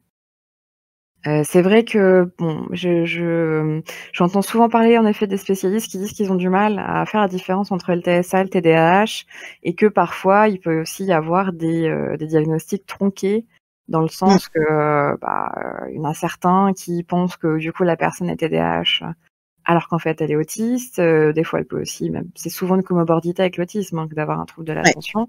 Il y a aussi beaucoup de, de diagnostics tronqués euh, par rapport au HPI, aussi. euh, où les symptômes, enfin les symptômes, les manifestations euh, au final. peuvent être euh, confondus avec celles du TDA Ouais. et sont souvent mixés avec. Et ça, c'est très peu connu malheureusement. Et, aussi, du coup, oui, il y, a- ça. Et puis, bien souvent, euh, il y a aussi euh, ce qui se rajoute dans la boucle, euh, du coup, ce qu'ils appellent les, hauts potentiels émotionnels, où il y a une sensibilité exacerbée sur quelque chose qui peut tendre justement à vouloir bah, un peu réagir comme une personne qui a un trouble de l'attention. Sans compter aussi, parfois, ils s'y perdent un peu avec les syndromes post-traumatiques où il y a des conséquences, des similarités en termes de, de résultantes au niveau du parcours de vie qui se manifestent d'une façon assez similaire entre, bah, ça peut être euh, euh, l'autisme, le HPI, euh, le trouble de l'attention, voire même du coup un- une grosse grosse addition de tout ça. Donc après, je comprends que euh, les, les gens s'y perdent un petit peu. Néanmoins, c'est quand même important de pas rester sur une étiquette et puis de ne pas essayer de la soulever pour voir tout ce qu'il y a dessous. Parce que juste résoudre tout ce dont vous avez pu parler, euh, juste sous le fait, euh, sur le, sur- juste sur le fait d'être euh, avec un trouble de l'attention avec ou sans hyperactivité, c'est quand même un petit peu rapide au final. Donc voilà. Et du coup, c'est plutôt chouette parce que ça me permet de faire un petit, un petit pas de côté sur la question suivante et qu'on a pu déjà un petit peu aborder. C'est les soucis que vous rencontrez avec, bah, avec ces différents troubles. Donc, euh, bon, bah, le TSA, du coup, euh, Laurence, tu les as bien exprimés, mais au final, euh, le trouble de l'attention dans votre vie au quotidien, que ce soit dans vos relations amicales, affectives, votre emploi, euh, votre vie quotidienne, euh, c'est, ça vous impacte comment? Et euh, euh, enfin, est-ce que ça a pu faire partir des gens? Est-ce que vous avez pu perdre des emplois? Ou est-ce que vous avez pu être euh, dénigré dans dans certains certaines parties de, de votre vie où les gens ont pu vous dire que vous étiez pas respectueuse, pas polie, euh, que vous partiez dans tous les sens, que vous preniez pas en compte leur fonctionnement, ce genre de choses? Est-ce que du coup vous avez un petit retour à, à faire à ce sujet? Ou, ou pas? Euh, du coup, je me lance. Vas-y, vas-y, Chloé. Euh, bon, j'ai un petit peu déjà expliqué, mais je vais quand même revenir là-dessus. Euh, donc moi, au niveau euh, vie privée, ça m'a, ben voilà, j'ai des soucis par rapport à ça. C'est-à-dire que typiquement, pour prendre un petit peu des caractéristiques du TDA, quand je quand je discute avec des gens, je suis vite attirée par autre chose. Hmm. Donc euh, ça c'est pas mal embêtant parce que bon après si c'est un sujet qui me passionne ou que je suis en plein dedans, ça va plutôt bien. Donc euh, donc je suis des fois même trop dedans, mais je pense que ça c'est aussi bien à cause euh, enfin avec le TSA ça aide pas aussi forcément. Donc quand c'est un sujet qui me passionne, ben je suis à fond dedans. Mais quand c'est des sujets qui me passionnent pas forcément, que la personne en face de moi elle va lent à expliquer alors que moi-même euh, quand j'explique je me parfais partout mais bref donc du coup j'ai tendance à être un peu mal polie parce que du coup euh, je vais tellement être euh, comment dire C'est pas de l'impolitesse en fait. Je me permets. Oui. C'est pas de l'impolitesse, c'est ton fonctionnement. Pour moi, l'impolitesse, ça veut être, en fait, tu marches sur les autres pour permettre que ta voix soit entendue. Là, pour moi, c'est ton fonctionnement qui implique que malgré toi, euh, malgré que tu respectes énormément ton interlocuteur ou ton interlocutrice, bah, tu dois le faire, quoi. Tu vois oui c'est vrai mais c'est ça et puis du coup j'ai je vais le couper ou tout d'un coup voilà je, je parle avec mon compagnon par exemple et je vais le couper je vais dire je, je suis désolée mais tu peux arriver euh, au mot de la fin enfin c'est quoi le final de l'histoire? Ah, le vécu, mais tellement. Mais du coup, du coup, je suis désolée, mais vas-y, ouais, abrège, abrège, s'il te plaît. Parce que tu m'as déjà perdu cinq fois, là, tu vas me reprendre une sixième fois. Faut que tu finalises le discours. du coup, euh, du coup, ça, ça passe pas avec tout le monde. Donc voilà, bien entendu, mon compagnon, ouais, il me connaît, donc euh, il s'énerve pas. Mais c'est vrai que ça peut, euh, voilà, les gens comprennent pas forcément tous. Et puis euh, le fait de, de donc quand c'est avec du monde que je peux pas couper, ben je me perds et tout d'un coup on va me poser des questions et je suis là ah oui oui alors que je sais pas du tout si je réponds correctement. Que du coup je sais plus la question ou ce qui a été dit. Euh, sinon c'est aussi beaucoup des, des soucis euh, comme ça a déjà été euh, dit euh, juste avant au niveau de la planification. Euh, c'est vite euh, compliqué pour moi. J'arrive pas à gérer euh, le temps dans une journée.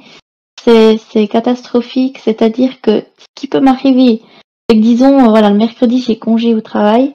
Je me dis ah trop bien.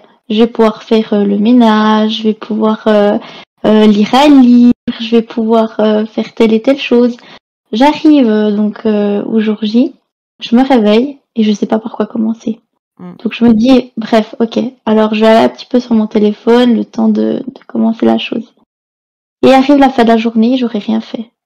Parce que j'aurais... Euh, en fait, j'attends, je vais me dire, ah bah ah, ok, euh, je sais pas par quoi commencer, bah, je vais attendre un petit peu, dans une heure, je vais me lancer.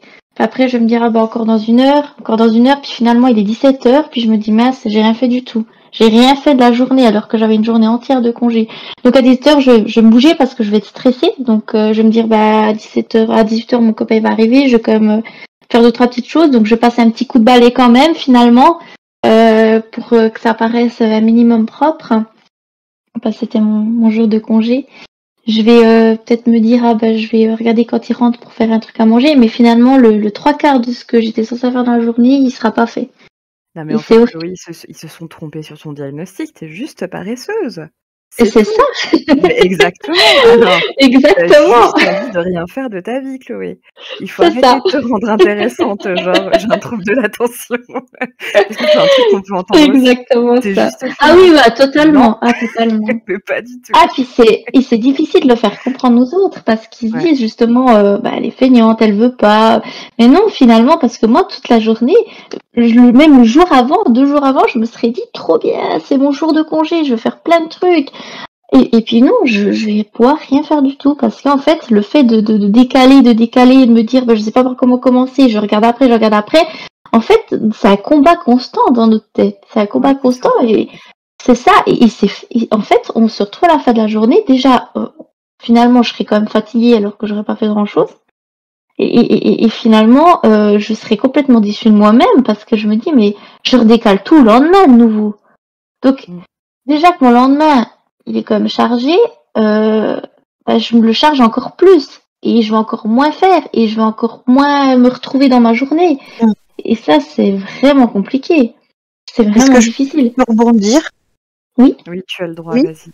Euh, en fait, avec, euh, avec euh, ce prédiag, euh, je prends conscience de, de, ce que, de ce que raconte Chloé aussi, de dire, ben voilà, enfin j'ai un jour de repos, je vais pouvoir faire plein de trucs. Mais, mais en fait, je suis fatiguée je suis fatiguée d'avoir réussi à gérer euh, le début de ma semaine. Je suis fatiguée d'avoir réussi à, m'organiser euh, euh, parce qu'il fallait que je le fasse, parce que je travaillais, parce que j'avais des trucs à faire, des gens à voir. Et à un moment donné, ouais, ton cerveau, il est juste en off et il dit, ben, pitié, laisse-moi être un peu en roue libre. Et on se retrouve à procrastiner toute la journée, à se dire, ah tiens, mince, j'aurais dû faire tout ça, et ben je l'ai pas fait. Et je pense que le, une des clés pour pour déculpabiliser tout ça, c'est juste de se dire, ouais, pas regarder le verre à moitié vide, de se dire, bah, j'ai rien fait aujourd'hui. Bah non, j'ai fait un truc aujourd'hui, je me suis reposé. J'ai laissé mon cerveau en roue libre le temps qu'il avait besoin. Et puis, euh, bah écoute, si c'est un coup de balai à 18h, et ben il y a là, super, j'ai fait un coup de balai à 18h, bravo, applause, quoi. Euh, mais par rapport à, à faut s'écouter. Enfin, moi, c'est vraiment la leçon que je tire de mon prédiag, c'est euh, euh il vaut mieux s'écouter une journée, deux journées, même trois journées par semaine si on en a la possibilité de, de faire les choses en mode poisson rouge et, et de s'écouter, euh, plutôt que de se prendre des burn-out dans la gueule tous les deux ans comme j'ai fait toute ma vie. Parce que c'est une souffrance inimaginable d'être rendu au point où on est couché à plus arriver à penser. C'est un cauchemar. Donc euh, il vaut mieux s'autoriser à être poisson rouge une journée de temps en temps. Donc euh, vas-y Chloé, pour rien de ta journée et passe un coup de balai de temps en temps si t'as envie. et puis, euh, ouais, il y a. Hum, ma merde, je voulais dire un truc, j'ai oublié. Putain, bon, tant pis. Euh, Marianne, du coup, tu, as des, tu rencontres toi aussi des petits soucis, comme a pu exprimer Chloé et, Laurence au niveau de ton, de ton quotidien, pardon, euh, de ta vie pro, affective, amicale, qu'importe? Alors, euh, oui, oui, euh, tout à fait. Alors cette, euh, ce que disait Chloé, ça me parle beaucoup de pas arriver à commencer ta journée, quoi. C'est c'est et alors, cette fatigue donc tu voilà, tu je tu je vais le faire, je vais le faire, je vais le faire et puis je le fais pas. Sauf que sauf que moi, ça fait plus d'un an que je travaille plus, parce qu'à force de me cramer le cerveau, bah, j'ai fini en invalidité et et finalement, euh, on se dit bah c'est cool, je vais me reposer et ça va aller mieux et je pourrai avoir une vie normale entre guillemets de, de quelqu'un qui travaille pas, mais euh, ça va être chouette. Sauf que ça fait plus d'un an et je suis, tout, je me suis toujours pas reposée. Je n'y arrive pas. Je, n'y arrive pas du tout. C'est euh, ce que disait Chloé sur le sommeil d'arriver à tomber vraiment euh, raide mort quoi, parce que t'en peux plus physiquement et ben, et ben ça marche pas quoi. Enfin, même ah, si je m'endors. ça, du coup, ouais, c'est pas possible pour toi quoi. Non. Donc je me repose jamais. Donc euh, voilà, je bah voilà, je ne travaille plus. Donc c'est quand même un, un, échec, je trouve à, à, à, mon âge euh, qui était quand même euh, respectable, mais quand même loin de la retraite. Et je ne travaille plus, mais c'est pas pour autant que j'ai réussi à me requinquer quoi. Ça, maintenant, je suis en train de faire le deuil de cet espoir d'arriver à me, à me reposer. À D'un côté, tu prends soin de toi, malgré tout, parce que si tu devais gérer ton état actuel et puis du coup un boulot, actuellement, ce serait un peu compliqué, je pense. Eh ben, c'est plus compliqué maintenant, je trouve, parce que ah oui, parce que je pense qu'avant, je me cachais derrière le travail, je me cachais derrière les enfants, j'étais toujours à 200 à l'heure, mais parce que, soi-disant, j'avais pas le choix à cause de tout ça. Et puis je me rends compte maintenant, les enfants sont grands, ils ont leur appart, je travaille plus, et j'en suis au même point, toujours. Ça, après, je pense euh, que c'est une difficulté qu'on peut beaucoup rencontrer sur le fait que, en termes de points négatifs au niveau du TDA, avec ou sans hyperactivité, c'est le côté où parfois, si bon, on a tout eu, on va dire, à des parcours un petit peu chaotiques, euh, qu'importe les thématiques, c'est aussi du coup éviter d'y réfléchir, d'être confronté à soi, à ses problèmes, à ses ruminations, Et euh, ça peut passer pour un aspect positif de se dire je vais faire plein de trucs comme ça, je vais pas y réfléchir. Sauf que Mm. le jour où malheureusement on en arrive à devoir être en invalidité, alors oui, en effet, du coup, dans notre culture, euh, ne pas travailler aujourd'hui, c'est un échec. Et ben on se retrouve confronté à ça, à tous ces trucs en fait qu'on a mis au placard ou qu'on a glissé sous le tapis en se disant euh, c'est pas si important, euh, euh, c'est pas grave. euh, de toute façon, si j'en suis encore là aujourd'hui, c'est que je suis forte, c'est que je suis en capacité de. Et puis en fait, arrive le moment où ouais, le corps lâche quoi, et puis le psycho revient en force. C'est vrai que là, généralement, c'est des périodes qui sont très sombres et c'est plutôt des creux de vagues qui sont très très profonds. Même, je pense qu'on on continue à pelleter quoi. Et c'est c'est là où je pense que c'est très très important d'avoir des suivis derrière. Donc je pense Ouais. à des suivis psy en particulier. Ouais. euh, pour Oui. arriver à, à comment dire à mettre du sens dans ces ruminations là et que si ces ruminations elles reviennent moi j'essaye de le voir sur le côté positif perso. C'est que je me dis que je suis assez stable à cet instant T et que mon psycho me dit bah tiens ça tombe bien du coup elle est moins occupée. Bon on va revenir un petit peu grignoter les trucs qui la faisaient un peu chier quoi. Et c'est important de prendre soin de soi à ce moment-là. Ça met du temps mais c'est important. Et je pense que ces instants là il faut euh, c'est douloureux, mais ça permet derrière de, d'encore plus se solidifier, quoi. Donc, je sais pas si tu as un suivi psy à côté, Marianne. Alors, j'ai un suivi, euh, on va dire, euh, psycho-éducatif, Ouais. euh, euh, pas, pas psychothérapeutique, mais voilà, j'ai une prise en charge dans le cadre du TSA. Où, Ok. Voilà, donc là, pour l'instant, on est sur un groupe de gestion du stress. On travaille sur l'hygiène de vie, sur plein de choses. Donc, oui, mais on sait tout ça. On le sait ce qu'il faut faire et, qu'on fait pas. mais euh, voilà. Après, euh, moi, le psy, j'ai un peu de mal, hein, puisque j'ai fait une belle psychothérapie qui a duré 11 ans avec une Oui. euh, dame qui était hyper gentille, mais euh, quand même très imprégnée de psychanalyse et qui m'a fait perdre, à mon avis, euh, des Ah, années euh, sur mon diagnostic. Quoi. Ça, c'est un peu le point noir de mon parcours. J'ai eu de la chance euh, ces dernières années, c'est allé très vite. Mais avant, j'ai pataugé pas mal. Alors, c'est sûr que moi, en plus, euh, un peu un télo, donc euh, l'approche psychanalytique, j'ai trouvé ça super. hein, hein, je me suis éclatée intellectuellement. En plus, j'ai un parcours de vie bien moisi, donc euh, il y avait y avait de quoi pelleter. Hein. Mais, matière, quoi, ouais. Ouais, mais je suis passée à côté de, de l'essentiel finalement. Après, il y a une thérapie, du coup, un suivi psychothérapie que je trouve assez intéressant, c'est le, les psychologues qui sont spécialisés en EMDR. Parce que euh, je donc euh, le principe pour ceux et celles qui ne connaissent pas, bien qu'on en ait parlé dans d'autres podcasts, c'est que du coup il y a soit une stimulation euh, visuelle, c'est-à-dire que la personne du coup elle elle fait un peu comme de l'hypnose, on va dire. Elle va occuper le côté euh, euh, hyperactif, euh, attentionnel euh, de notre cerveau qui prend la part sur tout le reste. Donc du coup, elle met un doigt euh, devant nos yeux. On doit suivre euh, des doigts, de, des yeux, pardon, pas des doigts, euh, le, le doigt qui se balade de droite à gauche. Et euh, parfois aussi, il y a aussi des petits tapotements. Donc c'est pas, nous frappe pas, hein, mais c'est des petits tapotements sur les cuisses ou sur une partie du corps où on accepte d'être touché, bien entendu. Euh, c'est pas sexuel non plus, mais ça nous permet aussi de, de le côté attentionnel qui soit fixé sur euh, comment dire le- l'espèce de choses qui se passe, qui est plus ou moins intrusif, d'autant plus du coup avec un diag TSA, et qui permet du coup de laisser parler le reste. Et du coup, je trouve que la, le suivi EMDR est vraiment vraiment génial là-dessus. Et euh, sur du moyen terme, euh, je pense que ça fait gagner beaucoup plus de temps que sur des psychothérapies qui sont plus ordinaires. Après, c'est mon vécu. D'accord. Alors Euh, moi, je, pour moi, c'était vraiment un truc plutôt. euh, euh, le MDR, dans mon esprit, c'était plus euh, pour un stress post-traumatique, par exemple. Alors ça soigne, ça soigne très bien les syndromes post-traumatiques, en effet. C'est conseillé. Euh, c'est conseillé aussi euh, dans des cas euh, qui génèrent ou pas du coup de, du syndrome post-traumatique, mais des agressions en tout genre, de la maltraitance. Euh, parce que ça permet justement d'évi- d'éviter de focus là-dessus et d'arriver en fait à faire des liens plus ou moins. Mais pour euh, le côté trouble de l'attention, ça fonctionne très très bien aussi. Parce qu'il y a ce côté attention qui part dans tous les sens et là on est fixé sur un truc. Et ça permet du coup que quand on parle, on évite, euh, vu qu'il y a une partie de notre cerveau qui est complètement fixée sur ce que la psy ou le psy est en train de faire, donc soit le mouvement avec son doigt, soit donc tapoter les cuisses ou autre, que du coup on parle euh, un peu sans réfléchir au final.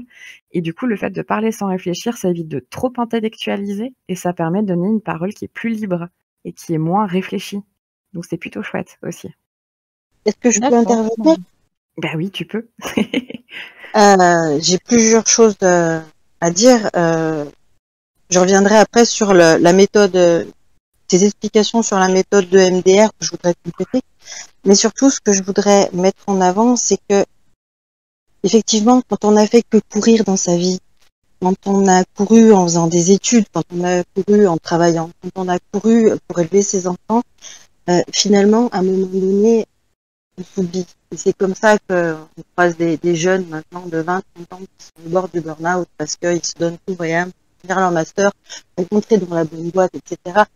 Ils n'ont plus de, de loisirs. Ils, ils, perdent le sens de, de, qui ils sont, de ce qu'ils aiment, de ce qui les fait kiffer, de ce qui leur donne de la joie. Leur essence, quoi. Ouais, et ça, c'est primordial à retrouver. Et ce qu'il faut mettre en avant, c'est qu'effectivement, quand tu t'arrêtes de courir, euh, je pense à toi, Marianne, c'est tout, tout, que, tout ce dont tu t'es pas occupé en toi qui va remonter. Euh, tout, toutes tes frustrations, tout, toutes tes zones en toi qui ont manqué euh, d'amour, d'attention, des épisodes de ta vie que tu aurais peut-être voulu vivre autrement, qui remontent et qui participent à la rumination mentale. Et je pense qu'effectivement là, euh, le MDR peut être intéressant. Euh, alors, pour moi, en traitant le TDA, c'est pas le mot, mais disons que ça va enlever de, ça va enlever du carburant à la rumination mentale du TDA en traitant la symptomatologie du stress post-traumatique complexe. Parce que je pense que toutes les personnes atteintes de, de problèmes de neurodéveloppement ou, ou des problèmes de, de genre, de transidentité, ils ont tous, on a tous des traumatismes complexes du fait de nos vécus, du fait des conflits, du fait des, des non-compréhensions du monde qui nous entoure et on se traîne ça. Et on a ça en écho qui se rajoute à quand, chaque fois qu'on vit une situation difficile, il y a tous nos autres vécus qui chargent la balance derrière et en écho à ça. Et c'est là où c'est très intéressant de travailler en hypnose, en EMDR ou en, EMDR par tapping, en déprogrammation de traumatisme, parce que ça permet de vider les poubelles. Et quand on vide les poubelles, eh ben, justement, il y a moins de matière pour faire ruminer. Du coup, notre cerveau, il peut s'occuper à des choses positives. Il peut se dire, OK, ben, ça y est, les poubelles, je les ai dégagées. Maintenant, euh, qu'est-ce que je sens? Qu'est-ce qui me fait kiffer? Vers quoi j'ai envie d'aller? Qu'est-ce que, qu'est-ce qui m'attire? Qu'est-ce que je suis prête à tester aujourd'hui maintenant que je suis plus légère de mon, passé traumatique? Et, euh, concernant euh, le MDR ou le tapping, la déprogrammation de traumatisme en général, en fait, euh, pour reprendre un peu ton explication, Priscilla, euh, concrètement, ces mouvements, euh, leur vocation première n'est pas euh, de, de capter l'attention. C'est une, ce mouvement, il, il, reproduit en fait le rythme pour nos globes oculaires sous nos paupières quand on dort pendant la phase de sommeil paradoxal. Et cette phase de sommeil paradoxal, en fait, elle sert à traiter les informations. C'est-à-dire qu'on peut se souvenir ou pas de nos rêves, mais c'est pendant ce moment de la nuit, du sommeil, que notre cerveau fait le tri des expériences vécues dans la journée et qui dit, OK, ça, je garde parce que ça a un intérêt, euh, un intérêt euh, didactique. Du fait de ça, je peux m'en servir plus tard, euh, en positif parce que ça m'a fait du bien, ou en négatif, cette situation, il faut absolument que je l'évite. Donc là, on fait une, imprégnation négative de quelque chose. En l'occurrence, ça peut dégénérer en trauma, là, justement. Et, et, ce traitement, donc, ça lui permet d'évacuer. S'il y a un truc qu'il juge intéressant, il le stocke. S'il y a des trucs qui n'ont pas d'intérêt, qui sont anecdotiques, comme euh, se rappeler de ce qu'on a mangé à midi, il l'oublie. C'est comme ça que ça marche. Et quand il y a un traumatisme, quand il y a quelque chose qui a été euh, euh, gardé sur la facette négative, sur la facette, euh, cette situation-là était très difficile à vivre pour moi, et tout votre inconscient, il va se mettre en mode, je verrouille cette situation pour m'en souvenir, et dès qu'il y a quelque chose de près ou de loin qui ressemble à ça, ça va générer des angoisses, des peurs, des situations de rejet, de blocage, etc. Et tous les comportements qui vont avec, et les ruminations mentales qui vont avec, va dire, mon Dieu, cette situation, ça me fait angoisser, parce que, en fait, ça me rappelle autre chose.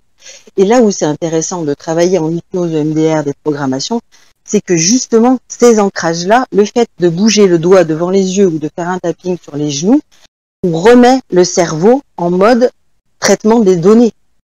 Donc, quand on évoque avec la personne un souvenir traumatique, euh, X ou Y, hein, euh, là j'ai pas d'exemple et je vais pas en donner, euh, quand la personne euh, réévoque cette situation douloureuse et difficile, elle se remet dans un état euh, modifié de conscience puisqu'on revit les souvenirs quand on les évoque. Si je vous dis, euh, euh, chocolat noir, vous allez sentir l'odeur, vous allez avoir le goût dans la bouche. Et si vous pensez euh, à un moment euh, difficile de votre vie, je vais faire un truc tout, tout- tout nul là, mais genre maman m'a pas acheté le cartable rose à paillettes que je voulais parce en avait plus et je suis hyper vénère. Hein, euh, et ben du coup, euh, bref, donc euh, c'est pour déprogrammer. Donc le fait que vous, vous revoyez cette situation, donc cette histoire de frustration de petite fille avec son cartable rose qu'elle peut pas avoir, on est, on, on ressent l'émotion qu'on avait dans le magasin à ce moment-là, la frustration, la colère, là, mais pourquoi c'est pas juste, etc. Et à ce moment-là, donc, comme vous êtes en état modifié de conscience, dans le souvenir traumatique, concrètement, si on rajoute le signal, soit au niveau visuel, soit au niveau du tapping, le cerveau se remet en mode tri. Et comme il est en mode tri, il sait séparer les choses de la réalité du présent. Du. Voilà, ça fait un reset. Et c'est ça qui est primordial. Et concrètement, ça m'a sauvé la vie. Voilà. Et concrètement, du coup, on, sent bien que c'est ton intérêt restreint aussi, quoi. on, on sent bien que je tiens beaucoup de crachoir, je m'excuse. C'était pas mon propos, mais on sent vraiment que t'es passionné, quoi. y a pas de souci. J'espère, Marianne, que du coup, ça fait pas trop euh, euh, le côté euh, de donneuse de leçons ou quoi. C'est peut-être une manière, euh, je sais pas. Ok. Oui, non, moi, mon propos, c'est juste de donner de l'espoir dans, dans l'histoire, de dire, mais mes pauvres, si vous savez d'où d'où je reviens, en l'occurrence, moi, c'est c'est un- j'ai un parcours de vie qui est ultra merdique. Et certes, j'ai passé, euh, j'ai passé, allez, un an et demi à faire des séances de déprogrammation euh, une fois par mois, une fois toutes les trois semaines, parfois dans tous les quinze jours, quand c'était trop euh, souffrant comme euh, souvenir des choses qui m'occupaient la tête, mais ça m'a sauvé la vie. Et, euh, et ça vaut vraiment le coup parce que ça permet de redémarrer. Et, et moi, je veux juste donner un message d'espoir à, à celles qui écoutent, à, à celles qui se disent c'est pas vrai, voilà la vie de merde que j'ai eue, je m'en sortirai jamais. Je veux dire si c'est possible, faut, faut juste trouver la bonne personne pour vous aider. Ouais, puis la bonne, la, thé- enfin, la thérapie ou du moins l'accompagnement qui nous convient, quoi. Ouais. Exactement. Ça, c'est pas évident. hein. Ouais. C'est vraiment pas évident.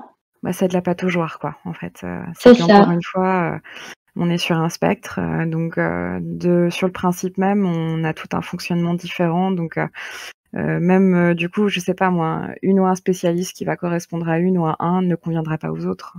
Mais Absolument. le principal, c'est qu'on y retrouve son compte et que ce soit bienveillant et que ça nous permette euh, de continuer d'avancer un petit peu, quoi, de manière euh, Mais plus positive. C'est à ça que ça sert le bouche à oreille. Quoi. Sur les groupes, euh, on a des noms, on a, on partage les infos quand on trouve quelqu'un qui a suffisamment d'écoute. Ouais, qui et dans la ma route, quoi. Mm. Et je pense que ça partage beaucoup sur les réseaux là-dessus aussi. Et c'est bien. Oui, oui, clairement. Euh, D'ailleurs, euh, pour celles et ceux qui nous écoutent, s'il advienne que vous ayez euh, euh, des, si vous souhaitiez, si vous souhaitez, pardon, rechercher une personne dans votre région qui soit, euh, j'allais dire sympathique au TSA, qui soit plutôt euh, sensibilisée au, TSA, euh, soit pour vous faire euh, diag, pré-diag ou tout simplement pour un suivi avec une ou un spécialiste qui soit, qui connaisse l'autisme et qui, bah, qui, un peu nos spécificités. N'hésitez pas à nous écrire du coup avec l'adresse mail qui sera qui est sous la vidéo.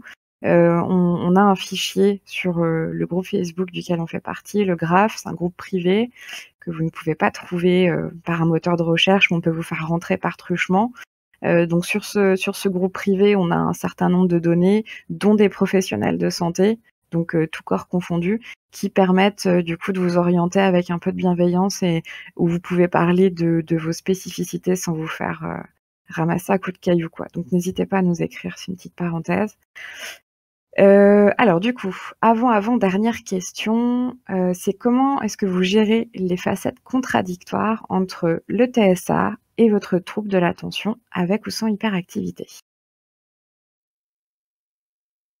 Est-ce que vous, je sais que c'est compliqué déjà de faire la différence entre le TSA et le TDAH, mais euh, avec ou sans d'ailleurs, est-ce que du coup vous, vous arrivez à gérer ce côté contradictoire? Ouais, je, je, je, je me permets. Il y a quelque chose euh, qui est pas mal, entre guillemets, disons. C'est que dans le TSA, on a un souci au niveau de la planification. Donc, euh, euh, pardon, le TDA, excusez-moi. on a un souci au niveau de la planification.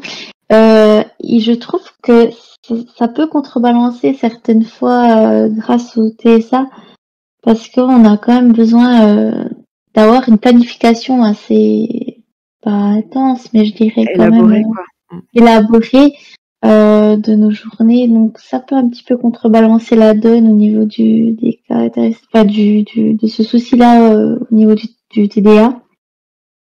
Moi, je trouve en tout cas à titre personnel que ça a pu quand même m'aider certaines fois. Ensuite, euh, ensuite pour le reste, je laisse la parole. Il y a d'autres exemples. Du coup, mesdames, Marianne ou Laurence, euh, il y a un, exemple en particulier, vous vous sentez vraiment que c'est c'est complètement contradictoire du coup d'être autiste, d'être autiste pardon, avec un trouble de l'attention avec ou sans hyperactivité? Alors euh, moi je suis la plus ancienne en termes de diagnostic de nous trois je crois, mais euh, c'est c'est au niveau du TSA je j'ai tellement fait de camouflage que je crois que je me suis euh, camouflée à moi-même. Et j'ai beau avoir mon diagnostic maintenant, je me sens pas autiste en fait, à part, euh, à part euh, des choses au niveau de, la sensorialité, des choses comme mhm. ça, l'hyperacousie, des, bon, voilà, ces choses-là.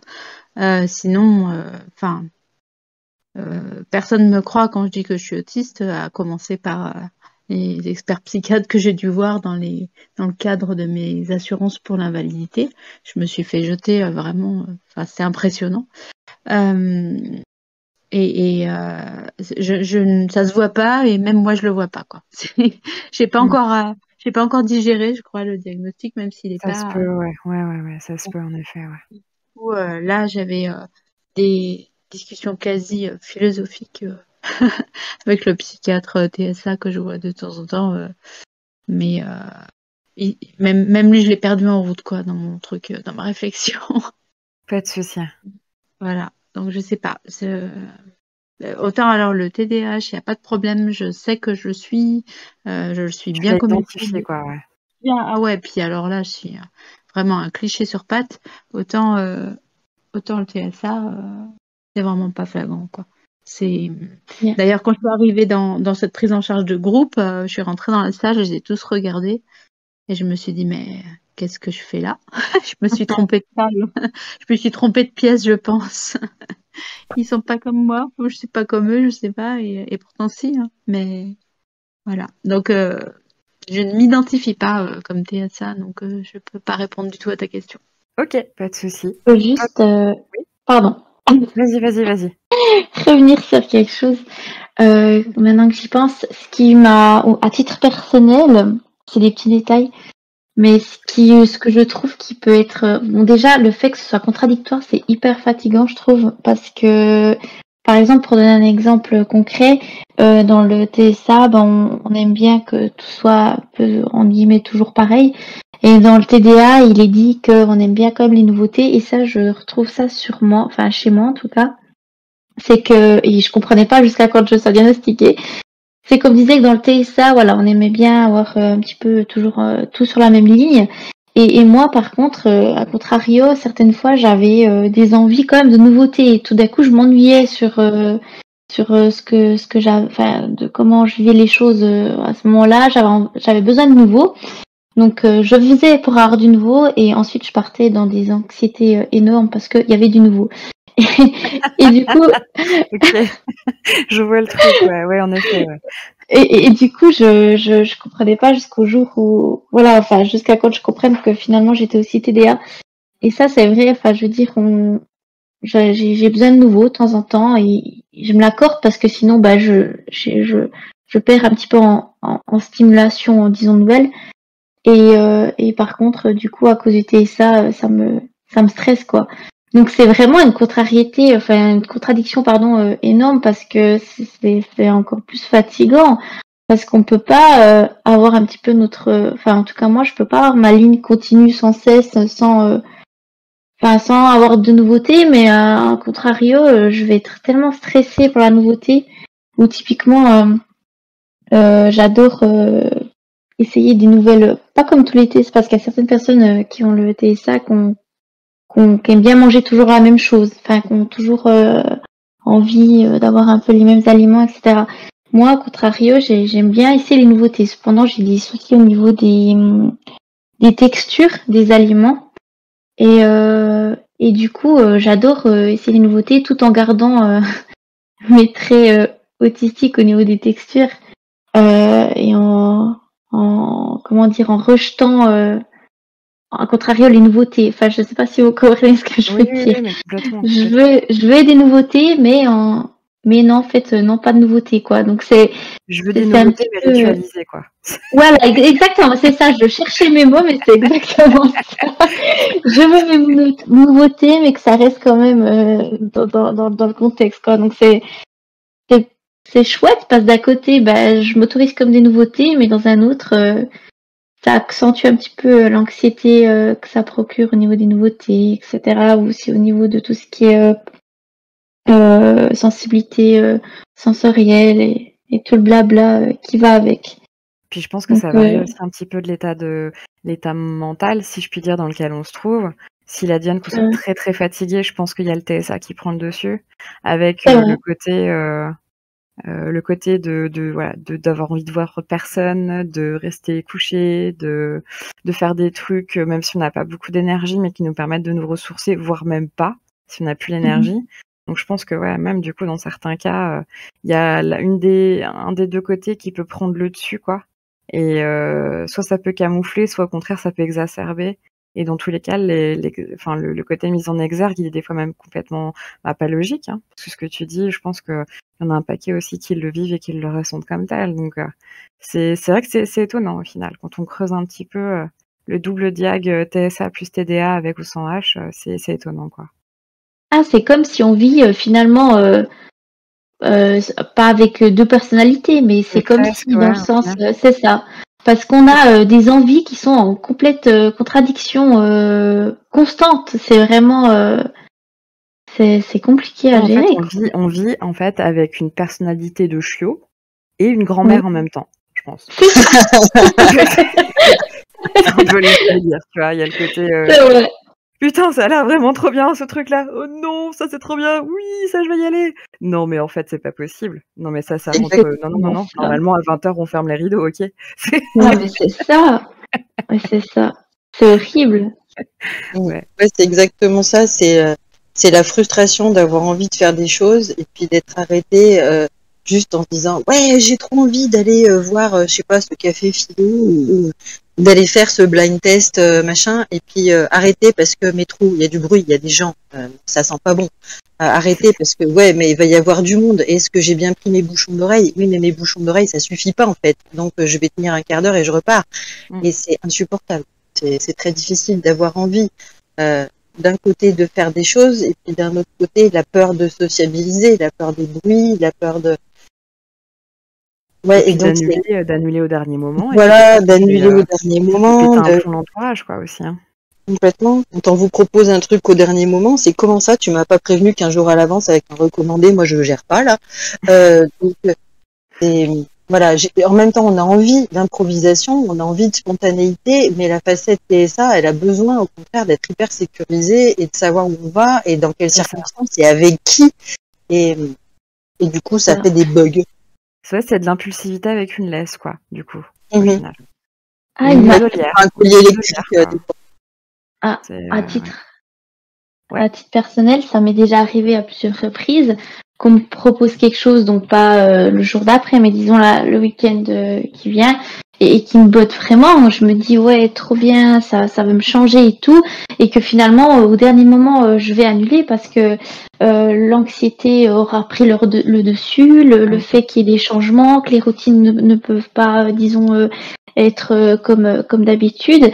Euh, alors que quand on l'a proposé, mais j'étais tellement tellement motivée, je me disais ah, trop bien et, finalement le fait de ruminer et que tout tout tout tout reprenne le dessus au niveau du TSA, bah, bah ça, ça ça ça engendre une annulation au dernier moment et puis ça c'est pas cool quoi. Enfin, c'est vraiment c'est comme là pour donner un exemple. Euh, je vais normalement avec ma maman euh, partir euh, pendant trois jours à Paris. du coup, je vais du côté français.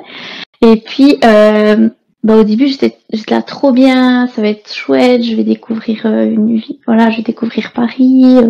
on va aller, on va aller manger, pas je pense toujours à manger.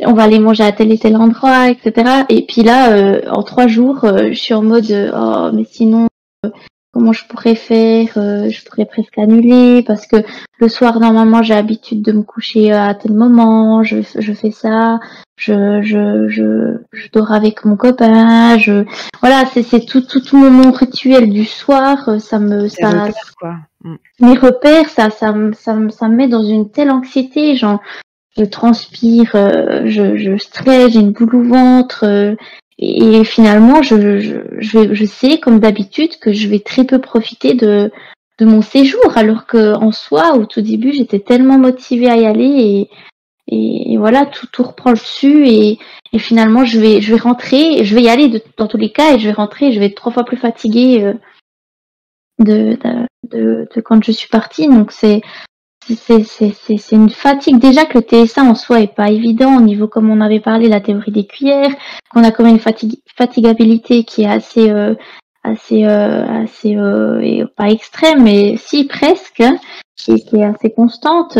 En plus avec le TDA euh, qui, qui qui qui se mélange avec le TSA moi j'ai 24 ans euh, tous les environ trois mois je pars dans un bug du cerveau euh, en erreur 404 euh, extrême où j'arrive même plus à, à, compter euh, 2 plus 2. C'est vraiment euh, hyper violent.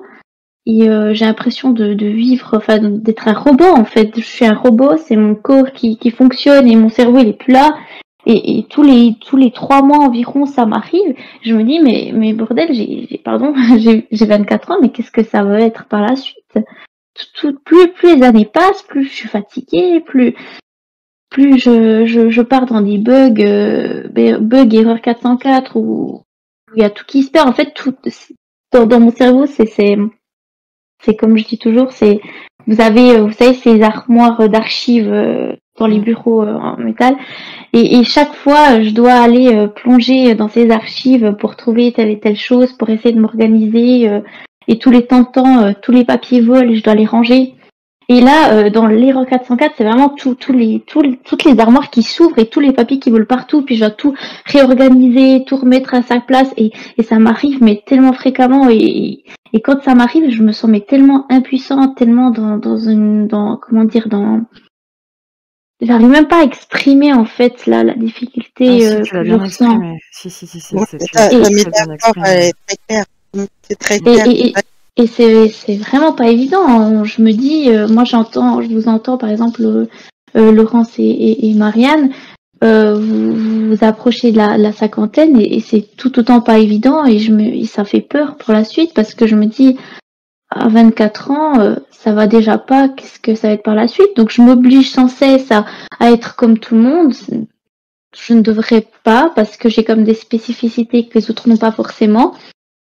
Je m'oblige à être comme tout le monde. Je, fais du masking tout le temps. Donc ce qui arrive, c'est que quand c'est mes jours de congé, mes jours de repos, bah, comme ça a été aussi dit précédemment, finalement on est fatigué hein, de faire tout ce masking sans cesse, euh, prendre sur soi.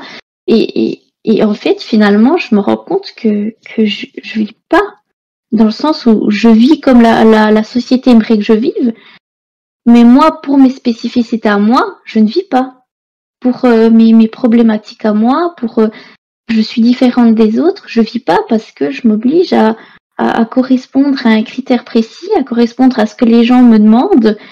Et moi, je vis plus. Je, je, suis, je suis un robot. Je suis. euh, je, je, le dis, je l'ai encore dit récemment. Il y a, il y a au bout d'un moment, je vais partir dans un burn-out extrême, comme ça m'est, déjà arrivé. Et il y a tout qui sera détruit. Et, et- et ça me fait peur parce que le jour où je vais, euh, où je vais tomber, il y a tout qui va tomber avec moi. Tout ce que j'ai construit jusqu'à maintenant, tout ce que j'ai employé jusqu'à maintenant, tout ce que j'ai, tout ce que je fais pour rester debout. Alors que très franchement, je tombe souvent et plus euh, je me relève, moi je me relève complètement. Je sais pas si vous voyez ce que je veux dire. Ouais, Il y a ouais, un jour je vais plus, il y a un jour où je vais plus pouvoir me relever du tout et il y a tout qui va tomber avec moi.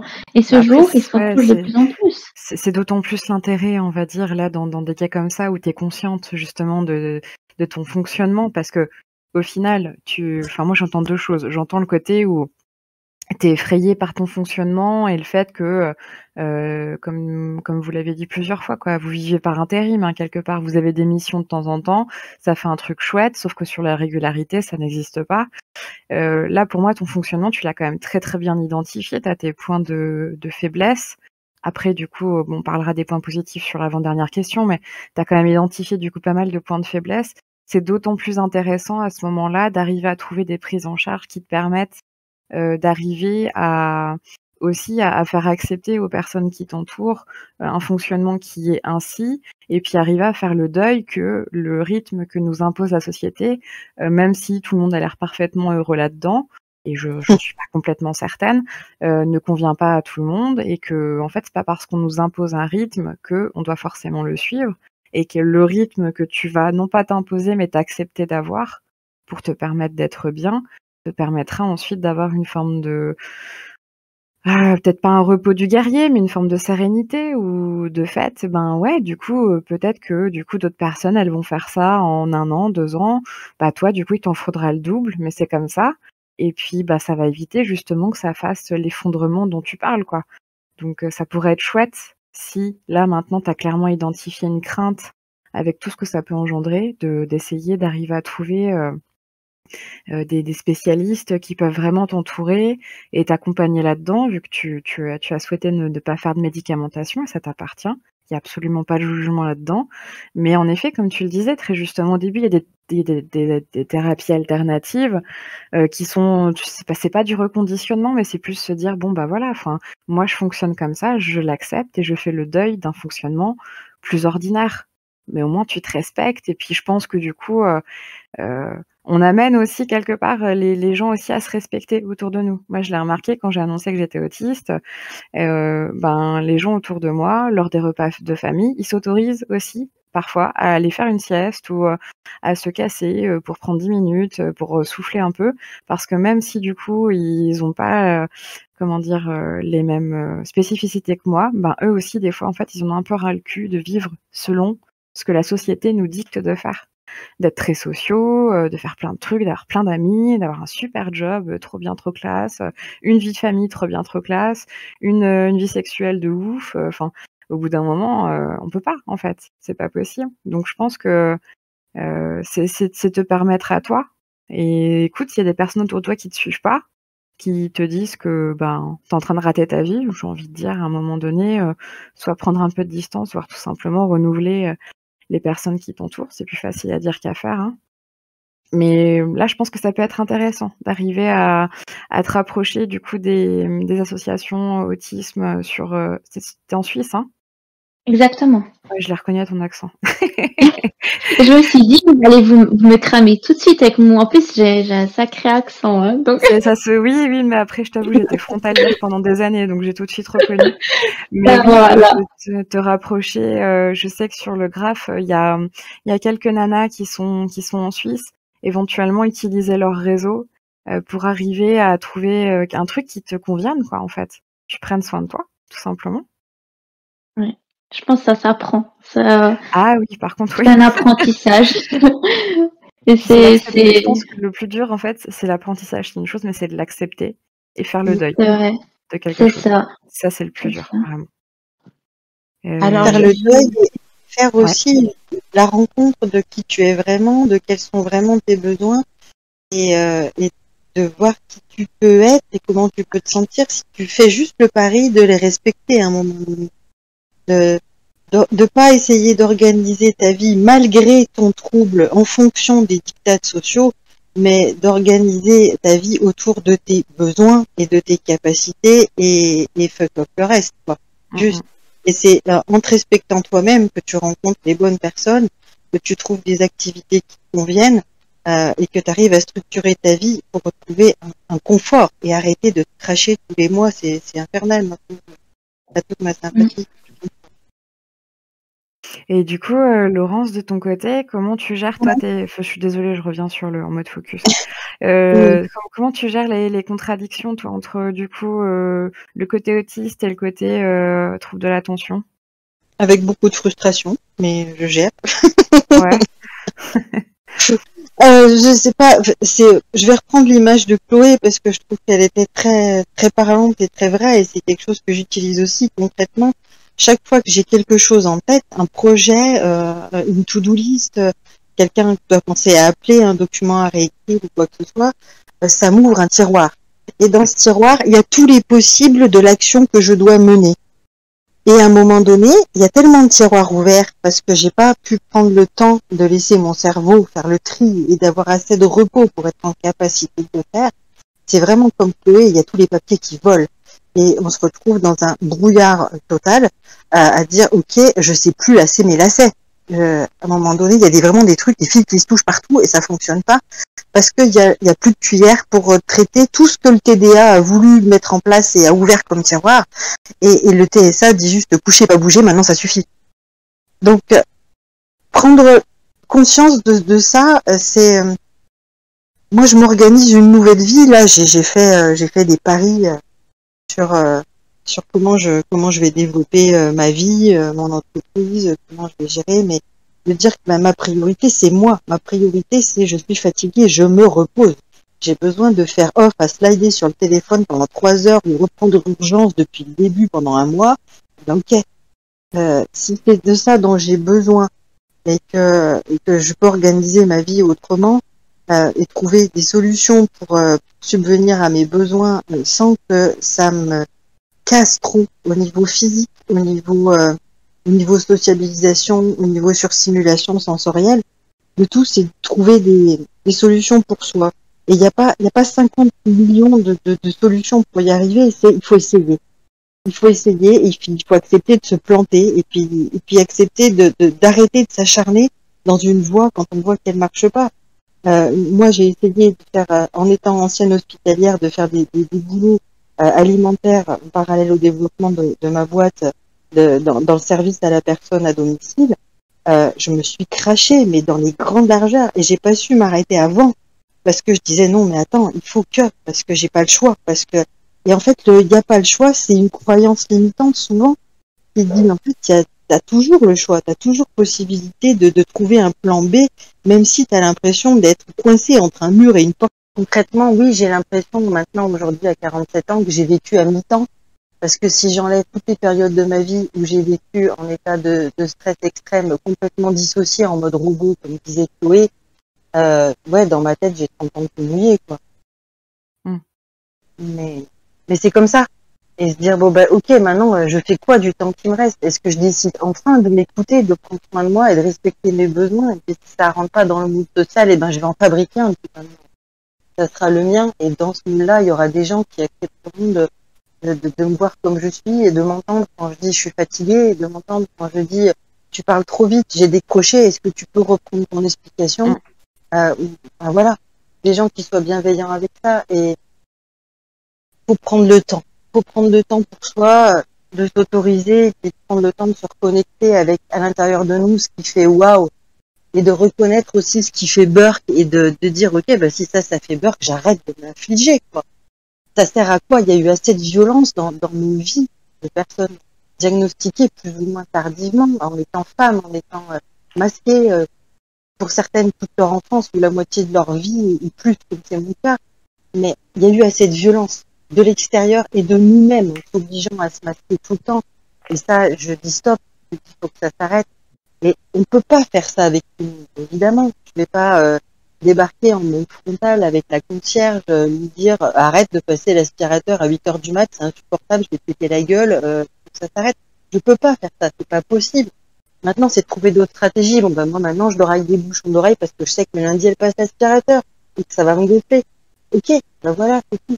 On trouve, trouver des, des, des systèmes et, et c'est vrai que dans les, dans les assos, des, des psychos qui sont bien formés, qui, qui, ont, qui ont fait un peu d'associatif, un peu de, qui sont intéressés, qui ont creusé. On a la chance, vrai, maintenant, il y a des DU, des troubles de, du neurodéveloppement qui existent, il y a des, il y a des tas de gens qui s'y intéressent, qui, qui ont envie de toute cette population dont on fait partie, qui est différente, qui est décalée, mais qui est d'une telle richesse en même temps, ça serait vraiment dommage de s'en passer. Je reste convaincue qu'on va vers le meilleur, mais le meilleur, il faut accepter de se le donner à soi-même le premier, de dire ok, je suis fatigué, bah je dors. J'ai envie de glander devant ma télé, ben je glande devant ma télé. j'ai l'impulsion. euh, Aujourd'hui, euh, ça fait 15 jours que j'ai pas foutu les pieds. Waouh, aux heures creuses, je vais aller faire les courses à Carrefour.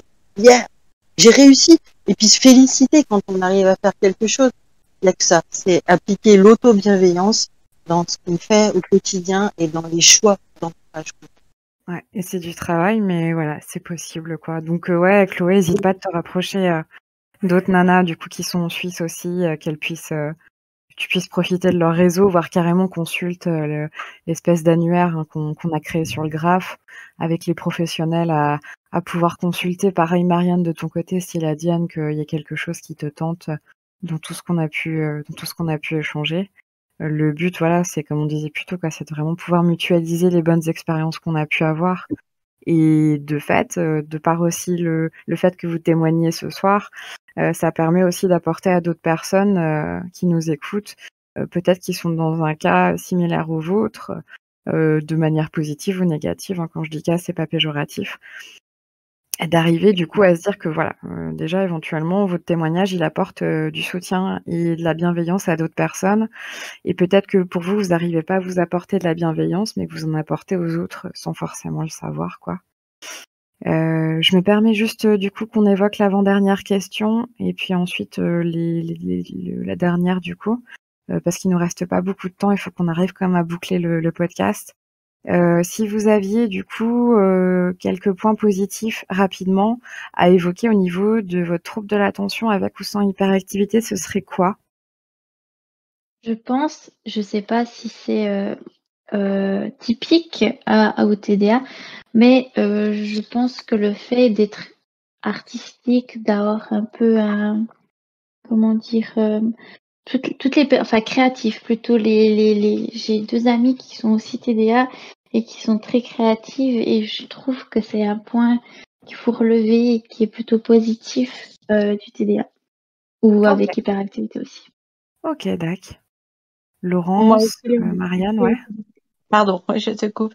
Euh, la créativité, clairement. Ouais. Et euh, la curiosité, la créativité, le... voilà, c'est. Je pense que c'est vraiment euh, ce que je retrouve chez moi et que Chloé évoque, et je pense qu'on retrouve euh, chez grand nombre euh, de TDAH. ouais. Et de ton côté, Laurence, toi, du coup, si, si tu avais un point positif de ton trouble de l'attention avec hyperactivité La créativité, je l'ai eue, mais je l'ai malheureusement écoutée. Ça fait partie des choses que, que j'aimerais, avec lesquelles j'aimerais relier. Moi, j'ai une passion pour l'écriture et, ouais, On t'entend pas très bien. Pardon, c'est mon micro qui s'est barré. Ah ouais, je me disais. Euh, voilà. Non, non, il s'est barré. Je, l'ai recrapé, le petit coquin. Euh, oui, donc j'aimerais m'y remettre quand j'aurai l'espace, parce que là, je suis en train de me débattre avec diverses administrations euh, joyeuses et, et absconnes. Donc, voilà, c'est en projet. Maintenant, le TDAH, comme le TSA, je pense qu'il y a un super pouvoir quand même là-dedans, c'est l'hyperfocus. C'est-à-dire que quand on a décidé de faire un truc, et que euh, c'est quelque chose qui nous passionne, euh, on peut passer des heures dessus en mode euh, en mode bourrin. Je sais pas si c'est ce que j'ai relevé en tout cas sur d'autres témoignages. Je sais pas si les autres copines ici sont concernées par ça, mais euh, en mode euh, en mode psychopathe euh, de décortication, de- d'aller jusqu'au bout du tréfond du sujet, euh, de comprendre les tenants, les aboutissants et les ramifications d'un truc. Euh, ouais, c'est c'est extrême, mais en même temps, c'est c'est nourrissant si ça participe aussi de l'intérêt spécifique. Et, et ouais, ce serait ça. Ça serait l'hyperfocus. Ok. Un truc Je pense que ça, c'est bien de le relever parce que c'est quelque chose, euh, comment dire, autant les TDA, ils ont tendance à, quand c'est quelque chose qui les intéresse pas forcément, enfin, pas, oui, qui est ennuyeux pour eux, ils, ils bâclent, enfin, dans le sens où ils ont du mal à se mettre dedans et ils passent par-dessus, mais autant si c'est quelque chose où ils hyper focus dessus, euh, ils peuvent être, je trouve, tellement performants, on peut tellement avoir des connaissances parce qu'on on- on approfondit le sujet jusqu'au bout. Mm. On, on veut tout connaître euh, généralement du, du, du sujet, voir tous les angles. Et, et, ça, euh, c'est quelque chose vraiment à relever. Tu as raison, Laurence, parce que ça peut être aussi bien bénéfique, euh, par exemple dans un métier ou, ou tout autre même. Moi de mon côté, du coup, il y a un truc que j'aimerais bien relever, c'est euh, alors en fonction des personnes, moi en tout cas, j'apprécie mon impulsivité. Alors bon, c'est pas toujours très très sympa. Enfin voilà, c'est moi du coup. Enfin, c'est pas sympathique pour les autres, mais pour moi ça l'est parce qu'il y a le côté euh, euh, il y a le côté des possibles en fait. Il y a le côté de, réaliser des impossibles, ouais, des possibles quoi. C'est le côté, euh, bah voilà, moi je suis je éduque quoi, et quand j'ai une personne que j'accompagne qui me dit, bah mon rêve c'est de faire ça, bah du coup je suis pas ok, vas-y viens on le fait. Non mais t'es pas sérieux. Bah si si, vas-y viens on le fait. Il y a des possibilités. Non mais ça va être compliqué. Non non non non, il n'y a pas des choses compliquées. Il y a des choses à, à mettre en place, à sécuriser, à organiser, mais euh, c'est totalement possible quoi. Bon à moins que du coup il a envie de faire du saut euh, euh, du saut en parachute ou sur l'élastique qui soit cardio, euh, bon là ça, ça va être compliqué. Euh, donc là ensemble on signe son testament. Mais sinon moi j'aime bien ce côté impulsif parce que ça ça me, ça me permet de sortir des fois justement de mes habitudes. Et euh, oui en effet le, le, le côté autiste me rattrape mais j'aime bien ce côté où putain j'ai envie de faire ça quoi. J'ai envie de faire ça. C'est décontenant c'est c'est décontenançant décont bref ça Mhm, surprend ouais. les gens qui me qui, qui peuvent être autour de moi. Mais en même temps parfois ça les fait aussi sortir de leur zone de confort. Alors quand je dis sortir de la zone de confort c'est pas non plus les mettre en danger mais c'est le côté de se dire c'est possible en fait. Faut s'autoriser à le faire euh, alors peut-être pas dans des conditions euh, fantasmatiques, mais on peut le faire, quoi. Ça peut être très chouette. Et euh, qu'importe en fait euh, l'heure du jour, de la nuit, il y a des fois, il y a des trucs, et ben c'est bien de le faire, c'est sur l'instant T. Il faut s'écouter, et je trouve que l'impulsivité, justement, alors de bénéfique comme de négatif, mais parfois c'est très chouette de l'écouter, et ça donne une forme de de un côté super dynamique et, et très très cool quoi. Et du coup, ça fait des belles expériences. Et, et, de- et du coup, bah, quand ça se termine mal, c'est toujours euh, un truc. euh, bon, sur le coup, ça fait chier, mais après, on se dit, ouais, c'était quand même rigolo, quoi, d'aller faire ça. Et ça fait des bons souvenirs. Et ça, ça raccroche, du coup, ce que je disais au tout début, hein, ce côté mignon, attendrissant. Parce que cette impulsivité-là, on la retrouve plutôt chez les enfants. Et au Oui. final, quand on est adulte et qu'on fait ça, euh, donc il y en a certains qui peuvent dire, vous êtes une femme enfant, je sais pas quoi. Et ben moi, j'ai juste envie de dire, bah non, bah je vis quoi. Je vis, j'ai envie de faire un truc. Pourquoi est-ce que je me limiterais à des carcans qui sont euh, destinés euh, aux adultes? Bah ok, moi je suis adulte, mais du coup j'ai envie de faire un truc complètement con. Euh, Il y a une fête foraine, j'ai envie de bouffer une barre à papa, qu'importe que ce soit à 22h ou euh, 15h de l'après-midi, j'ai envie d'y aller, j'y vais quoi. Tu veux venir avec moi? Bah viens, ça me fait plaisir. Franchement, j'ai envie de partager ça avec toi. Et c'est assez communicatif, du coup. Je trouve ça très très chouette. Voilà. Euh, après, voilà, ça peut, ça peut engendrer aussi d'autres situations un peu de mise en risque. Donc, en aucun cas, je dis que c'est forcément tout cool. Mais pour moi, j'essaye de le positiver et je le vis plutôt pas mal, quoi. Euh, et du coup, dernière chose avant la fin. Euh, si vous aviez quelque chose à conseiller à nos auditoristes, donc un livre, un film, une œuvre d'art, un site internet, qu'importe, un truc qui vous a fait du bien dans votre vie, qui soit lié encore une fois ou non à l'autisme euh, ou et au trouble de l'attention avec ou sans hyperactivité, bah, c'est le moment de le partager du coup. C'est quoi le truc que vous souhaiteriez euh, partager ce soir? Euh, je prends la parole. Moi, j'aime bien les, je sais pas si vous connaissez, mais j'aime bien les vidéos de Psycho Quack. Oui, très chouette. Euh. Très il très est chouette. vraiment. Il est énorme justement, ah, il est, ah, il est impressionnant. Moi, Il n'est pas autiste, hein. Il n'est pas Non, autiste. mais on Je me suis posé la que, question. Pareil. Je posé la question, il dit plein de fois. Non, non, mais je suis pas autiste, je suis psycho et tout. Non, mais gars, pose-toi quand même la question, quoi. Mais c'est vrai, je suis totalement d'accord avec toi. Mais effectivement, ces vidéos sont, sont bien. Et puis, même si malheureusement, avec le TDA, euh, je, au lieu de les regarder en 15 minutes, je les regarde en, peut-être sur une journée entière parce que En j'en fragmenté, avec. ouais. euh, voilà. Mais j'adore. Et puis, la vidéo du TDAH, je la trouve vraiment, vraiment bien. Donc, la adulte vrai. modèle et traitement. Il dessine voilà. très mal, mais il explique très bien, il vulgarise très bien. Exactement. Et, ce qui est génial avec ce gars, c'est qu'il source du coup toutes les. euh, euh, bon, pour ceux et celles qui connaissent pas, Psycho Quack, du coup, c'est un gars, euh, il est psycho, hein, il me semble, Mhm. euh, qui fait des vidéos sur Internet. Il commence à être assez connu et ouais, il a fait plein de vidéos sur plein de thèmes différents. Et du coup, il vulgarise beaucoup. Et ce qui est, moi, ce que j'apprécie beaucoup, c'est que j'aime bien, du coup, quand il y a une conversation, etc., et qu'on amène les sources, sur quoi on se base. Et lui, il les source toutes. Et même des fois, il dit, voilà, j'ai lu ça, je suis pas très sûre. Euh, si vous avez d'autres liens, donnez-les-moi. C'est un gars qui est super accessible et qui est prêt aussi à dire ok, là j'ai dit une boulette, j'ai fait un truc euh, qui était pas juste, je me suis contredit. Euh, ou euh, donnez-moi en fait de la matière si vous en avez, euh, si vous vous sentez concerné ou quoi. Donc ouais, très très bonne référence. Ouais, merci du coup. Du coup, Laurence ou Marianne, vous auriez un truc à nous partager qui vous fait du bien ou qui vous a fait du bien?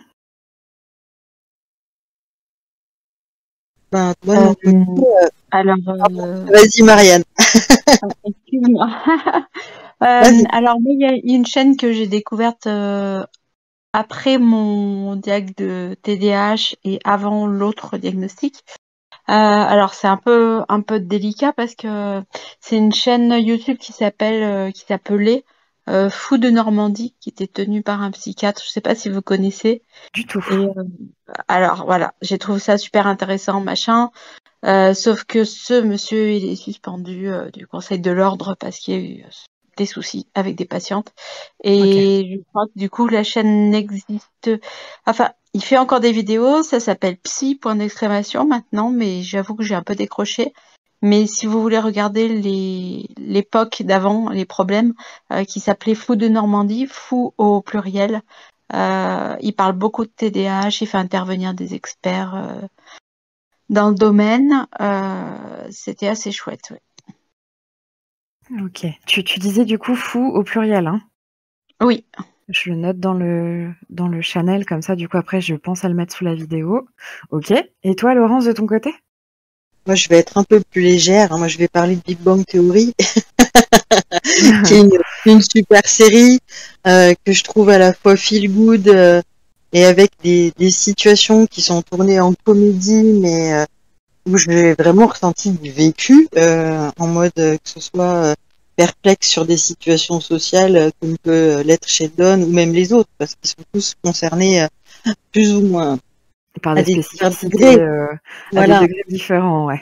voilà, des spécificités sociales ou de réflexion ou de ou d'extrémisme de position. Je la trouve riche, plutôt bien foutue, euh, et, euh, et ça m'a, c'est un truc qui m'a fait beaucoup de bien. Après, pour passer euh, en- du côté euh, développement personnel euh, du schmilblick, euh, moi j'ai envie de recommander les bouquins de Fabrice Midal. Parce Comment que tu il Fabrice Midal, bah Fabrice, et puis Midal, en un de mots. M-I-D-A-L, tout simplement. Ok. Peut-être que vous l'avez déjà vu, il fait aussi des, des conférences, des interventions. C'est le mec, il a un costard jaune poussin et des lunettes bleues improbables. Et euh, il est hyper euh, euh, accessible en lecture. C'est des lectures qui sont très agréables, euh, fluides, euh, parce qu'on Eckhart Tolle, c'est bien aussi, mais c'est un poil plus pointu, quoi. Et Fabrice Midal, notamment, je pense à deux de ses bouquins qui est Foutez-vous la paix et Soyez égoïste. Voilà. Et c'est vrai que c'est des ouvrages qui remettent en perspective euh, tout ce qu'on a dit euh, précédemment sur les conditionnements sociaux, sur les impératifs, sur le fait de ok, mais dans quelle mesure je suis maltraitante avec moi-même en essayant de respecter des normes qui ont été euh, écrites et décidées euh, par plein d'autres gens il y a des centaines d'années, ça n'a aucun sens. La, seule chose qui fait du sens aujourd'hui, c'est comment je peux traverser cette existence euh, euh, en ayant le plus de, de satisfaction et de, de confort et, en étant heureuse quand j'arrive à la fin, quoi. De dire, ben, ouais, euh, accepter d'être égoïste, c'est pas un gros mot, être égoïste, c'est euh, se donner la priorité à soi, euh, de respect de ses besoins. voilà. Déjà, partir de là, d'une certaine bienveillance, et puis arriver à se foutre la paix aussi, c'est l'objet d'un de ces deuxième bouquin que je viens de citer. C'est vraiment de dire pourquoi je m'inflige ça. Ok, ben euh, si j'ai envie, euh, je reprends l'exemple de Chloé tout à l'heure, euh, si j'ai besoin de buller mon mercredi parce que c'est mon jour de repos, ben voilà, si ça doit être ma priorité, ben je le fais comme il faut, quoi. Je me fais un bain à bulles, je mets de la mousse et tout, et puis si je fais symboliquement la vaisselle à 18h avant que mon mec rentre, c'est ok aussi. Et, et voilà, je trouve que c'est c'est léger comme écriture, c'est agréable et euh, ça passe bien, quoi. Ok. Bah, merci du coup de, vos partages. moi de mon côté, j'ai deux trois partages aussi à faire qui sont que j'aime bien. Il y a trois chaînes YouTube. Il y en a une où c'est un mec qui a, qui a fait du coup deux séries différentes qui s'appelle Depuis quand? Et en fait, c'est des questions existentielles euh, qu'on se pose ou pas. Par exemple, il fait depuis quand ça existe le surimi, euh, depuis quand ça existe euh, le post-it, depuis quand ça existe les kiosques à journaux. J'aime beaucoup parce que c'est très court déjà, c'est très dynamique et en fait, il a un humour que j'apprécie énormément. Il se met beaucoup en scène et il tripe totalement. Et vu que c'est un truc qui a bien bien décollé, de base c'était sur Canal+, donc en France, et ensuite il a été recruté justement en Suisse et il a fait une série qui s'appelle Intéressant. Euh, donc pareil, c'est des, toutes petites vidéos de, je sais pas, 4 ou 5 minutes où en fait il reprend un peu le même format de Depuis quand, mais avec un truc un peu plus sérieux. Et pareil, ça prend des, des, questions plus ou moins existentielles, mais qui sont toujours euh, euh, toujours pas tournés en dérision, mais qui sont apportés avec beaucoup d'humour et qui, sont sourcés euh, cette fois-ci, avec euh, ben, des, des, chercheurs qui font des fois des, recherches qui peuvent sembler complètement con. euh, genre, la, une des dernières vidéos qu'il a fait, c'était pourquoi, du coup, quand on aime vraiment quelque chose, on a envie d'y mordre, en fait. On a envie de planter les dents dedans parce que euh, ça, ça, ça, ça, fait un sentiment de satisfaction. Et en fait, il développe ça en 3-4 minutes en disant, bah, ouais, il y a des chercheurs qui font ça, euh, qui se disent que c'est vachement bien, du coup. Et euh, il y a aussi une nana euh, qui s'est expat au Québec, qui, son, son nom de chaîne, c'est Syllabus. Euh, pareil, c'est un peu sur des questions cons qu'on peut se poser généralement quand on est en train de dormir et qu'on arrive à s'endormir. Euh, genre euh, pourquoi les pingouins ils ont pas de coude ou pas de genoux, enfin voilà des trucs très sympathiques. et du coup en fait elle y répond. Donc là c'est un petit peu plus long, c'est des vidéos d'une vingtaine, trentaine de minutes, mais elle est très chouette parce que euh, c'est une meuf du coup qui se met vraiment en situation dans certains cas où elle se dit voilà, moi je me suis posé la question, j'ai cherché et je vous fais bénéficier en fait du fruit de mes recherches. Donc généralement même elle se déplace dans des labos, c'est plutôt typé scientifique. Elle se déplace dans des labos et tout et elle fait des expériences avec justement les gens qui bah, étudient les matières, les molécules, la physique, euh, la chimie, tout ça, tout ça.